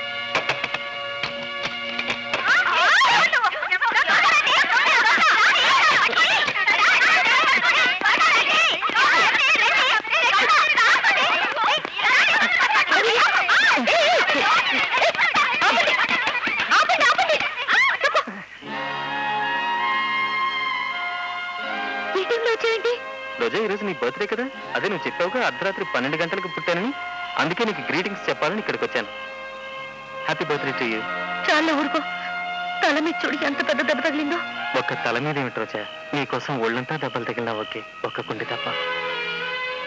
ఎందుకంటే ఈ గుండె నిండా నువ్వేగా?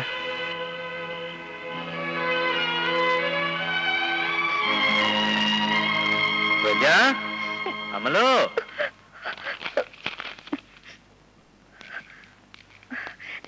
ఏం డాడీ? రేపు నీ బర్త్డే కదా. బజార్ వెళ్ళి నీకోసం చీర తీసుకొచ్చాను. ఏంటమ్మా ఏంటలా చూస్తున్నావు? ఓ ఎప్పుడు నాకంటూ నేను ఏం కొనుక్కోలేనిది ఇవాళ నీకోసం చీర తీసుకొచ్చానన్నా? అవునమ్మా. అమ్మకు కూడా ఏనాడు ఎప్పుడు నేను ఏది కొనిపెట్టలేదు. అసలు మనందరికీ అది కొనిపెట్టేది. కానీ ఇవాళ నేను బజార్కి వెళ్ళి నీకోసం ఈ చీర తీసుకొచ్చాను. బాయ్ ఇప్పుడు నేను నీకు నాన్నని మాత్రమే కాదమ్మా. అమ్మను కూడా. పొద్దున చీర కట్టుకుని తయారు మనం కూడా వెళుద్దాం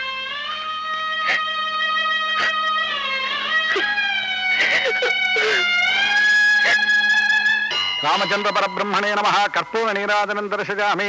యో వేదాం బ్రహ్మణో వేదామృతేనామృతాం పరేం తస్మై బ్రహ్మ చ బ్రహ్మా చ ప్రజాం దరు దీర్ఘసుమంగళే భవ.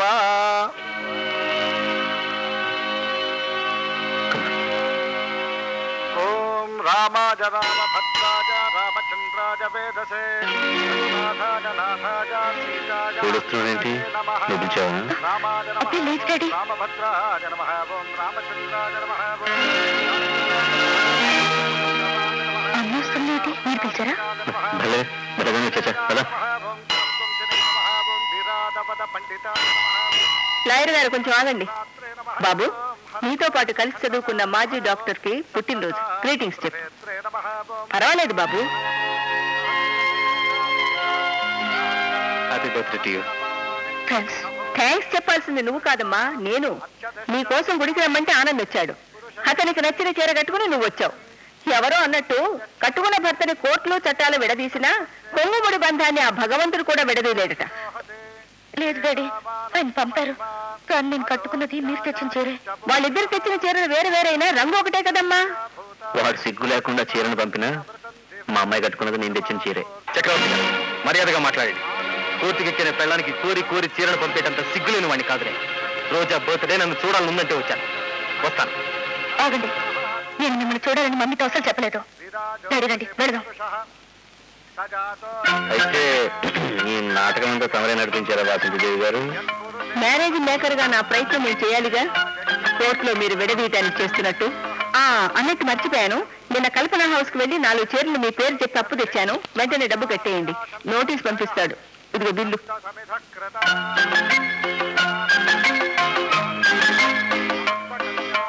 ఇది సపోర్ట్ చేస్తుందా అపోజ్ చేస్తుందా? ఏది ఏమైనా ఒకటి మాత్రం నిజం. అపోజిషన్లో కూర్చుని అసెంబ్లీ నడిపించగల తెలివితేటలు గలది వస్తున్నానమ్మా వస్తున్నా గురువు గారు నన్ను ఆశీర్వదించండి సార్. ఎందుకు ఆశీర్వాదం? అయ్యారు పాస్ అయ్యావా? అలాంటిదేనండి. ఏదో మీ దయ వల్ల ఓ పెళ్ళానికి మొగుండి అయ్యాను చూసి ఆనందించండి. చూడటానికి టైం లేదు కానీ. హాయిగా పెళ్ళంతో టైప్ కొట్టుకుంటూ పిల్లల్ని కట్టు బతికే I wish you all the best. Thank you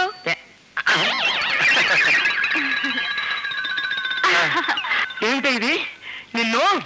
నీ మొదటి భార్య టైప్ మిషన్ ఉందిగా దాన్ని కొట్టుకో. నీకు రెండో భార్యగా ఉండడం కంటే ఈ పిల్లోడికి మొదటి భార్యగా ఉండడం నాకు చాలా సంతోషంగా ఉంది. ఒరే బడుద్దాయి కదవా? నెక్కలతో వచ్చి నా లైఫ్లో కుక్కర్లో పెట్టి కుక్కేసావు కదా ఒరే ఏమిట్రా ఈ అన్యాయం?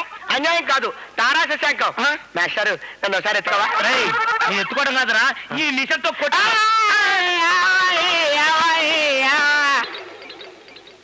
మనం వెళ్దామా. ఏయ్ ఎవడయ్యా లోపల? ఎవడు కనపడ్డే? రే ఏమిటయ్యా లిటిగేషను? మా వాడికి టైప్ నేర్పమని ఇక్కడికి పంపిస్తే వాడిని బొంగరం తిప్పినట్టు ఇక్కడే తిప్పుతున్నావు? ఏడివాడు నీ వాడా? నా కొంపకే ఎసరు పెట్టి నా పిల్లని తీసుకుని వెళ్ళిపోయాడు. నాకు రాని ఐడియా ఆ కుర్ర కుంకకి ఎలా వచ్చిందో? నిన్ను నిన్ను ఏ టైప్ కాబట్టి ఈ రోజు నుంచి నేను టైప్ కొట్టను. ఎవరిని కొట్టనివ్వను? మందు రాంబోతో అయిపోతున్నా రే చంపేస్తా.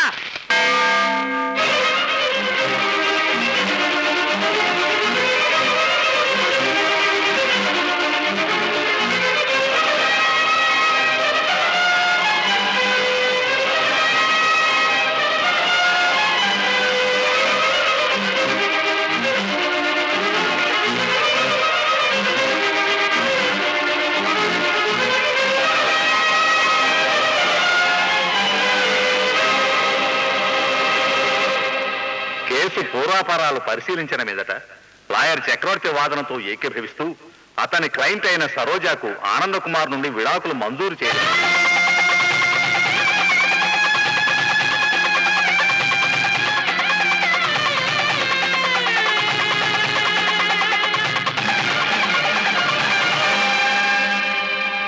ఐ వన్ ద కేస్ అమ్మలో కేసు నేను గెలిచానమ్మా. కేసు నేను గెలిచాను. అవును తల్లి నేను గెలిచాను.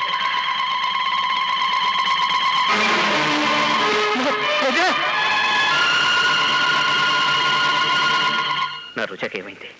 నా అమ్మకి ఏమైంది? అమ్మాయి మెంటల్గా అప్సెట్ అయింది. మరేం పర్వాలేదు. ఈ టాబ్లెట్స్ గంటకోసారి ఇస్తుండండి నేను మళ్ళీ రేపు పొద్దున్నే వచ్చి చూస్తాను. థ్యాంక్ యూ అవును మీ మిస్సెస్ వాసంతి గారు ఇంట్లో లేరా? లేదు డాక్టర్ ఊరెళ్ళింది. అయ్యో ఈ టైంలో ఆవిడ ఉండుంటే చాలా ఉపయోగంగా ఉండేదే. ఈ టాబ్లెట్స్ నేను టైంకి ఇవ్వగలనండి. టైంకి టాబ్లెట్స్ ఎవరైనా ఇస్తారండి. కానీ వయసు వచ్చిన ఆడపిల్ల మంచాన పడితే తల్లైనా తోడుండాలి లేదా భర్త అయినా తోడుండాలి. మీకు తెలియదు ఏమని చెప్పండి. వస్తానండి.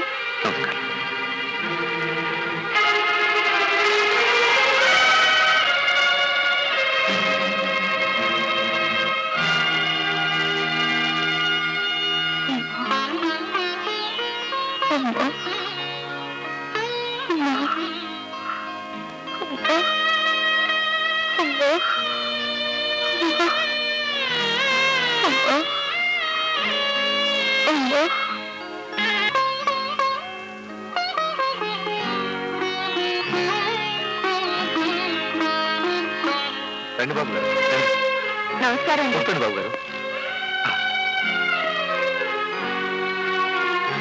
రాఘవయ్య నేను ఇంటికి లాయర్గా రాలేదయ్యా. ఓ కూతుర్ని కన్ను తండ్రిగా వచ్చాను. కోర్టులో కేసు నేనే గెలిచాను రాఘవయ్య. ఆడపిల్లకు అమ్మ నాన్న ఎన్నైనా చేయొచ్చు.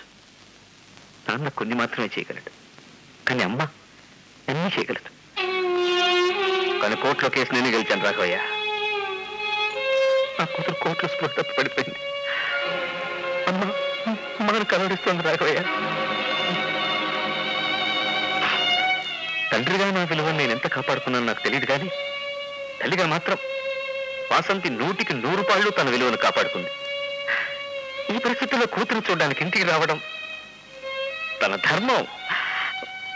వస్తాను. కోర్టులో కేసు నేనే గెలిచాను రాఘవయ్యా. నేనే గెలిచాను అయ్యా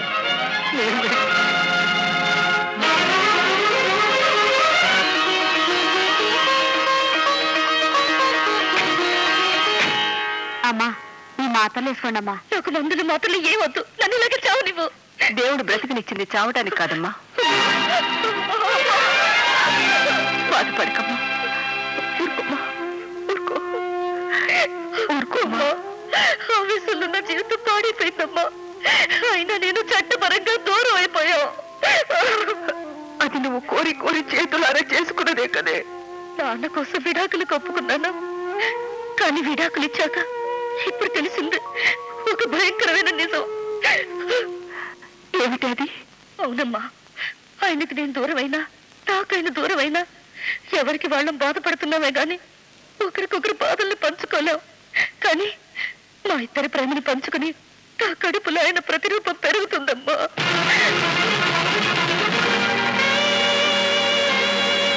ఏమిటి నువ్వు అనేది? అవునమ్మా. నేను తల్లిని కాబోతున్నాను? రేపు నాకు కొడుకు కూతురు పుట్టి నన్ను నాన్నెవరని అడిగితే నేను ఏం చెప్తానమ్మా? ఏం చెప్పాలని నిర్ణయం తీసుకున్నావి? నా నిర్ణయం ఒక్కటేనమ్మా. ఏమిటది? నేను ఎలాగో ఆయనకు దూరం అయ్యాను. చావలేక బతకాలి. ఇలా బతకడం కంటే చావడమే మంచిదమ్మా. ఇదే నా సమస్యకి పరిష్కారం. ఏమిటమ్మా ఇది? నీకు అలాంటి అర్ధాంతరమైన చావు రాకూడదని నీ జీవితం కూడా నా చెల్లెలు పద్మ జీవితంలా కాకూడదనే కదమ్మా? వారి దగ్గర నుంచి చట్టబద్ధంగా నీకు నేను విడాకులు ఇప్పించింది. ఏమిటండి మీ చట్టం? కలతలు వేగిన మనసును విడదీయటమేనా మీ చట్టం? వీళ్ళ జీవితంలో ఎదురైన సమస్యకు మీ చట్టం ఏ సమాధానం చెప్తుంది? చెప్పండి. వసంతి. వాసంతి అని అడుగుతున్నాను. జవాబు చెప్పండి. మీ కూతురి సమస్యను ఎలా పరిష్కరిస్తారు?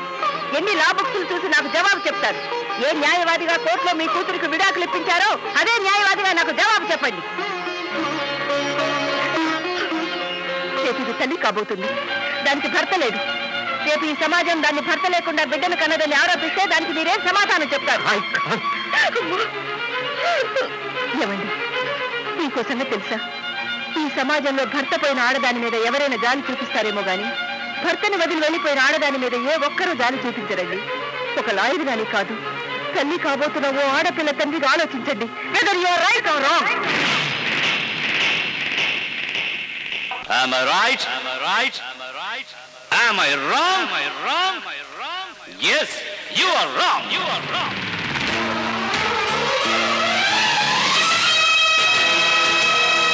న్యాయవాదిగా గెలిచిన వాడా కన్న తండ్రిగా ఓడిన వాడా నీకు శిలకు ఏమిటి తేడా? నీ హృదయం ఒక రట్టటి బండ. I object, Your Honor. సత్యం కోసం హరిశ్చంద్రుడు ఆలి నమ్మలేదా సత్యం కోసం హరిశ్చంద్రుడు వాలి నమ్మలేదా కన్న బిడ్డకి తాడి చంపిన న్యాయం విజేతగా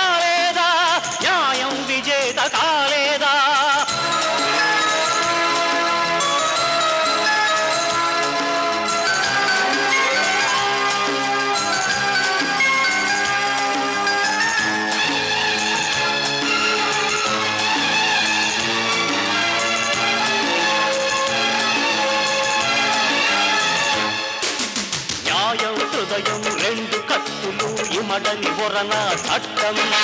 న్యాయం హృదయం రెండు కత్తులు ఇమడని ఒరన చట్టం. తాడి కట్టిన దర్పంతో ఇల్లాలిని కరిచే సర్పంతో. వెనుగులాట నా జీవిత ధ్యేయం అవల రక్షణే నా లక్ష్యం. వెనుగులాట నా జీవిత ధ్యేయం అవల రక్షణే నా లక్ష్యం. న్యాయవాదిగా గుండెల చప్పుడు My breath is law. What I preach is law. Nothing but law. That's all, Your Honor. I object, Your Honor. పచ్చని ఇళ్ళకు చిచ్చు పెట్టిన పాపపు న్యాయం లేది పచ్చని ఇళ్ళకు చిచ్చు పెట్టిన పాపపు న్యాయం లేది విడాకులంటూ పెళ్ళి పెటాకులు చేసిన వాదం నీది ఈ న్యాయం అందరికీ 我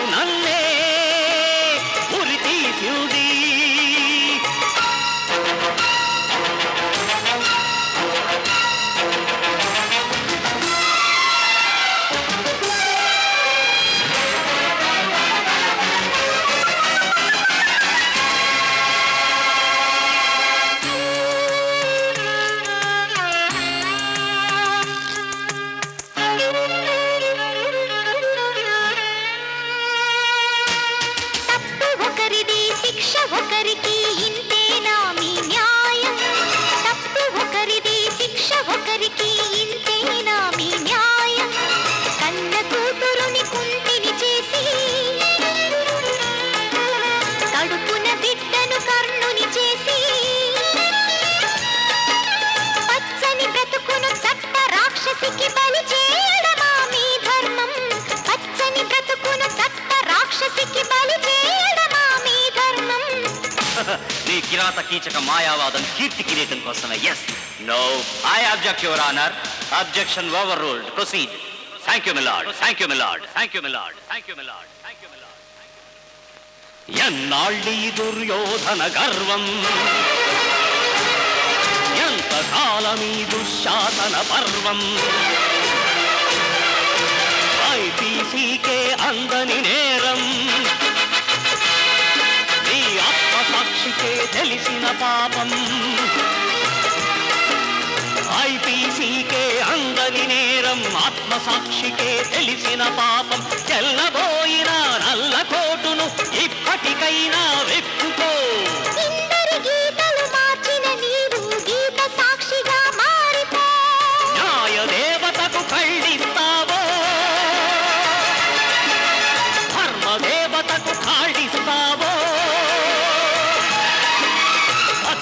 బతుకులు కాలుస్తావో నీలో నీవే తేల్చుకో బ్రతుకు బంధం తెలుసుకో తెలుసుకో తెలుసుకో తెలుసుకో.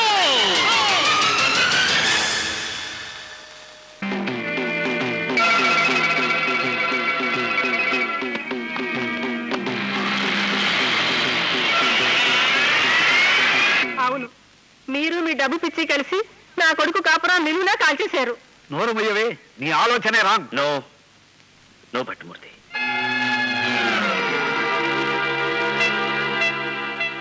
మీ ఆవిడ చెప్పింది రైట్.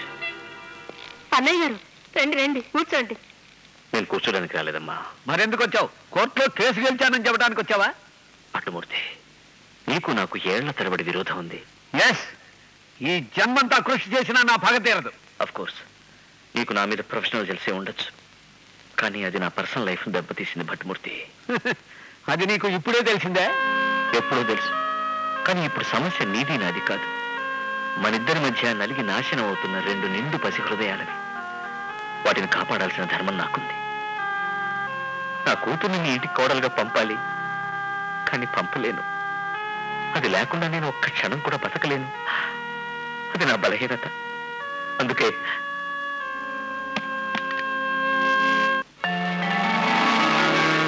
పాతిక లక్షలు తీసుకో. లేదా ఎంత కావాలో చెప్పిస్తాను అంతేకాదు నా కీర్తి కిరీటంగా భావించే నా ఈ న్యాయశాస్త్రపు పట్టాను కూడా నీకు ధారాదత్తం చేస్తున్నాను నీ కొడుకు నా ఇంటికి పంపించు.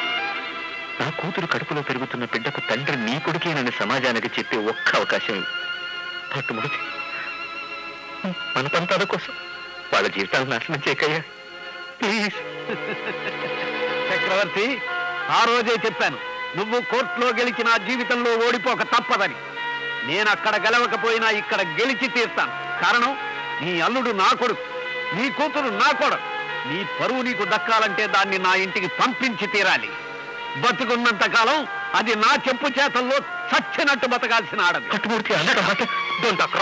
అసలు నువ్వు లాయర్గా కాదు తండ్రిగా కాదు ఒక మామగా కాదు. నేను ఒక మనిషిగా చూడాలంటే ఛీ, నాకు అసహ్యంగా ఉంది. అంకుల్ ఈ నీచుడు ముందు మీరు తలదించాల్సిన అవసరం లేదు. రండి అంకుల్ మరి వెళ్ళిపోదాం. ఈ క్షణం నుంచి ఈ ఇంటికి నాకు ఏ సంబంధం లేదు. అంటే ఆనంద్ మీరేం మాట్లాడదు అంకుల్. అమ్మా ఇంకా ఇలాంటి భర్తే దైవంగా అనుకుంటే నువ్వు ఇక్కడే ఉండు. ఈ కొడుకు కావాలనుకుంటే ఆ దేవాలయానికి రా. పదన కమా ఒక్క నిమిషం. పట్టుమూర్తి ఈ డబ్బు నా లా డిగ్రీ ఇక్కడే ఉంచుతున్నాను. నా కూతురి జీవితం కోసం నేను దీన్ని తాకట్టు పెట్టాను. నువ్వు మనిషిగా మారిన రోజు నీ చేతులతో నా లా డిగ్రీ నాకు ఇచ్చినప్పుడు మళ్ళీ కోర్టుకొస్తాను. సెలవు. ఆహా నిజంగా అన్నయ్య గారిని చూశాక అనిపిస్తుందండి. దేవుడు మనిషి రూపంలో ఇలా ఉంటాడని. వాడిని నా ముందు పోతాడేంటి మీ చెయ్యి ఇంకా నా చెంప మీద పడలేదు. కానీ పడిందని అన్నయ్య గారితో చెప్పి రేపు పొద్దునే విడాకులు తీసుకుంటాను. మిమ్మల్ని కోర్టులో కలుస్తా. రోజా నీ నాన్న మాటకు ఎదురు చెప్పలేక నీ భర్తను వదిలి దూరంగా ఉండలేక ఎంత బాధపడిపోయావనమ్మా సమయానికి నీ అమ్మ చొరవ తీసుకుని ఈ లాయర్ చక్రవర్తిని ఎదిరించి ఓడించకపోతే ఏమైతే తలుచుకుంటే లేదండి లాయర్ చక్రవర్తిని మీలోని తండ్రి చక్రవర్తి ఓడించాడు. అటు కోర్టులోని ఇటు ఇంట్లోనూ మీరే గెలిచారు. ఎవరో అన్నట్టు తనకు తానే ప్రశ్న వేసుకుని తనకు తానే జవాబు చెప్పుకునేవాడే నిజమైన వివేకవంతుడు. అన్నయ్య గారు అన్నయ్య గారు నా భర్త నుండి నాకు విడాకులు ఇప్పించండి. మీ ఇంట్లో పని మనిషిగానైనా పడి ఉంటాను. అదేంటి వదిన గారు ఎలా అంటారు? ఆహా వద్దమ్మా వద్దు. ఆయనతో కాపురం నేను చెయ్యలేను. వద్దు బాబోయ్ వద్దు. ఇప్పుడు విడాకులు లిటికేషన్ పెట్టద్దు. అయ్యా చక్రవర్తి. ఓహ్, మీరు మ్యారేజ్ బ్రేకర్ కదా. మీతో లాభం లేదు. అమ్మా వాసంతి నువ్వు మ్యారేజ్ మేకర్వి ఎంతో మందికి పెళ్ళిళ్ళు చేయించిన దేవతవి. నీ ఆయన మా భార్యాభర్తలకు విడాకులు ఇప్పించినా నువ్వే మమ్మల్ని కలపాలి తల్లి. అందుకు నేను ఇచ్చుకునే ఫీజు ఇక మీదట లాయర్ వృత్తి నుంచి నేను సన్యాసం తీసుకుని బావగారిని బావగారు నన్ను క్షమించి ఇక మీదట మీరే లాయర్ వృత్తిలో కొనసాగాలని కోరుకుంటున్నాను. ఎందుకంటే నేను ఎలాగూ గెలవలేరు కనుక ఎప్పుడూ గెలిచే మీరే మా బావగారని సగర్వంగా పది మందిలో చెప్పుకు తిరుగుతాను. మీరు అబ్జెక్ట్ అనుకోరు అబ్జెక్షన్ అందుకని బావా నేను కూడా ఈ సందర్భంలో ఒక నిర్ణయం తీసుకోవాలనుకున్నానయ్యా. ఏమిటంటే వచ్చిన విడాకుల కేసులు అన్నీ ఒప్పేసుకొని జంటలను కలపడానికి ప్రయత్నిస్తాను. ప్రతి పెళ్ళి నూరేళ్ళ పంట కావాలని వాదిస్తాను. అయితే ఈ కేసులో మా డిపార్ట్మెంట్కి ఏం పని లేదనమాట ఏయ్, తొందరపడుకో. ఒక్క నిమిషం పడుకో. మా బావగారి గురించి నీకు తెలియదు ముందు కాస్త అది ఓపెన్ చేసి అందులో డబ్బులు సరిగ్గా ఉన్నాయో లేదో లెక్కడ చూడు. ఒక్క వందే తీశాను.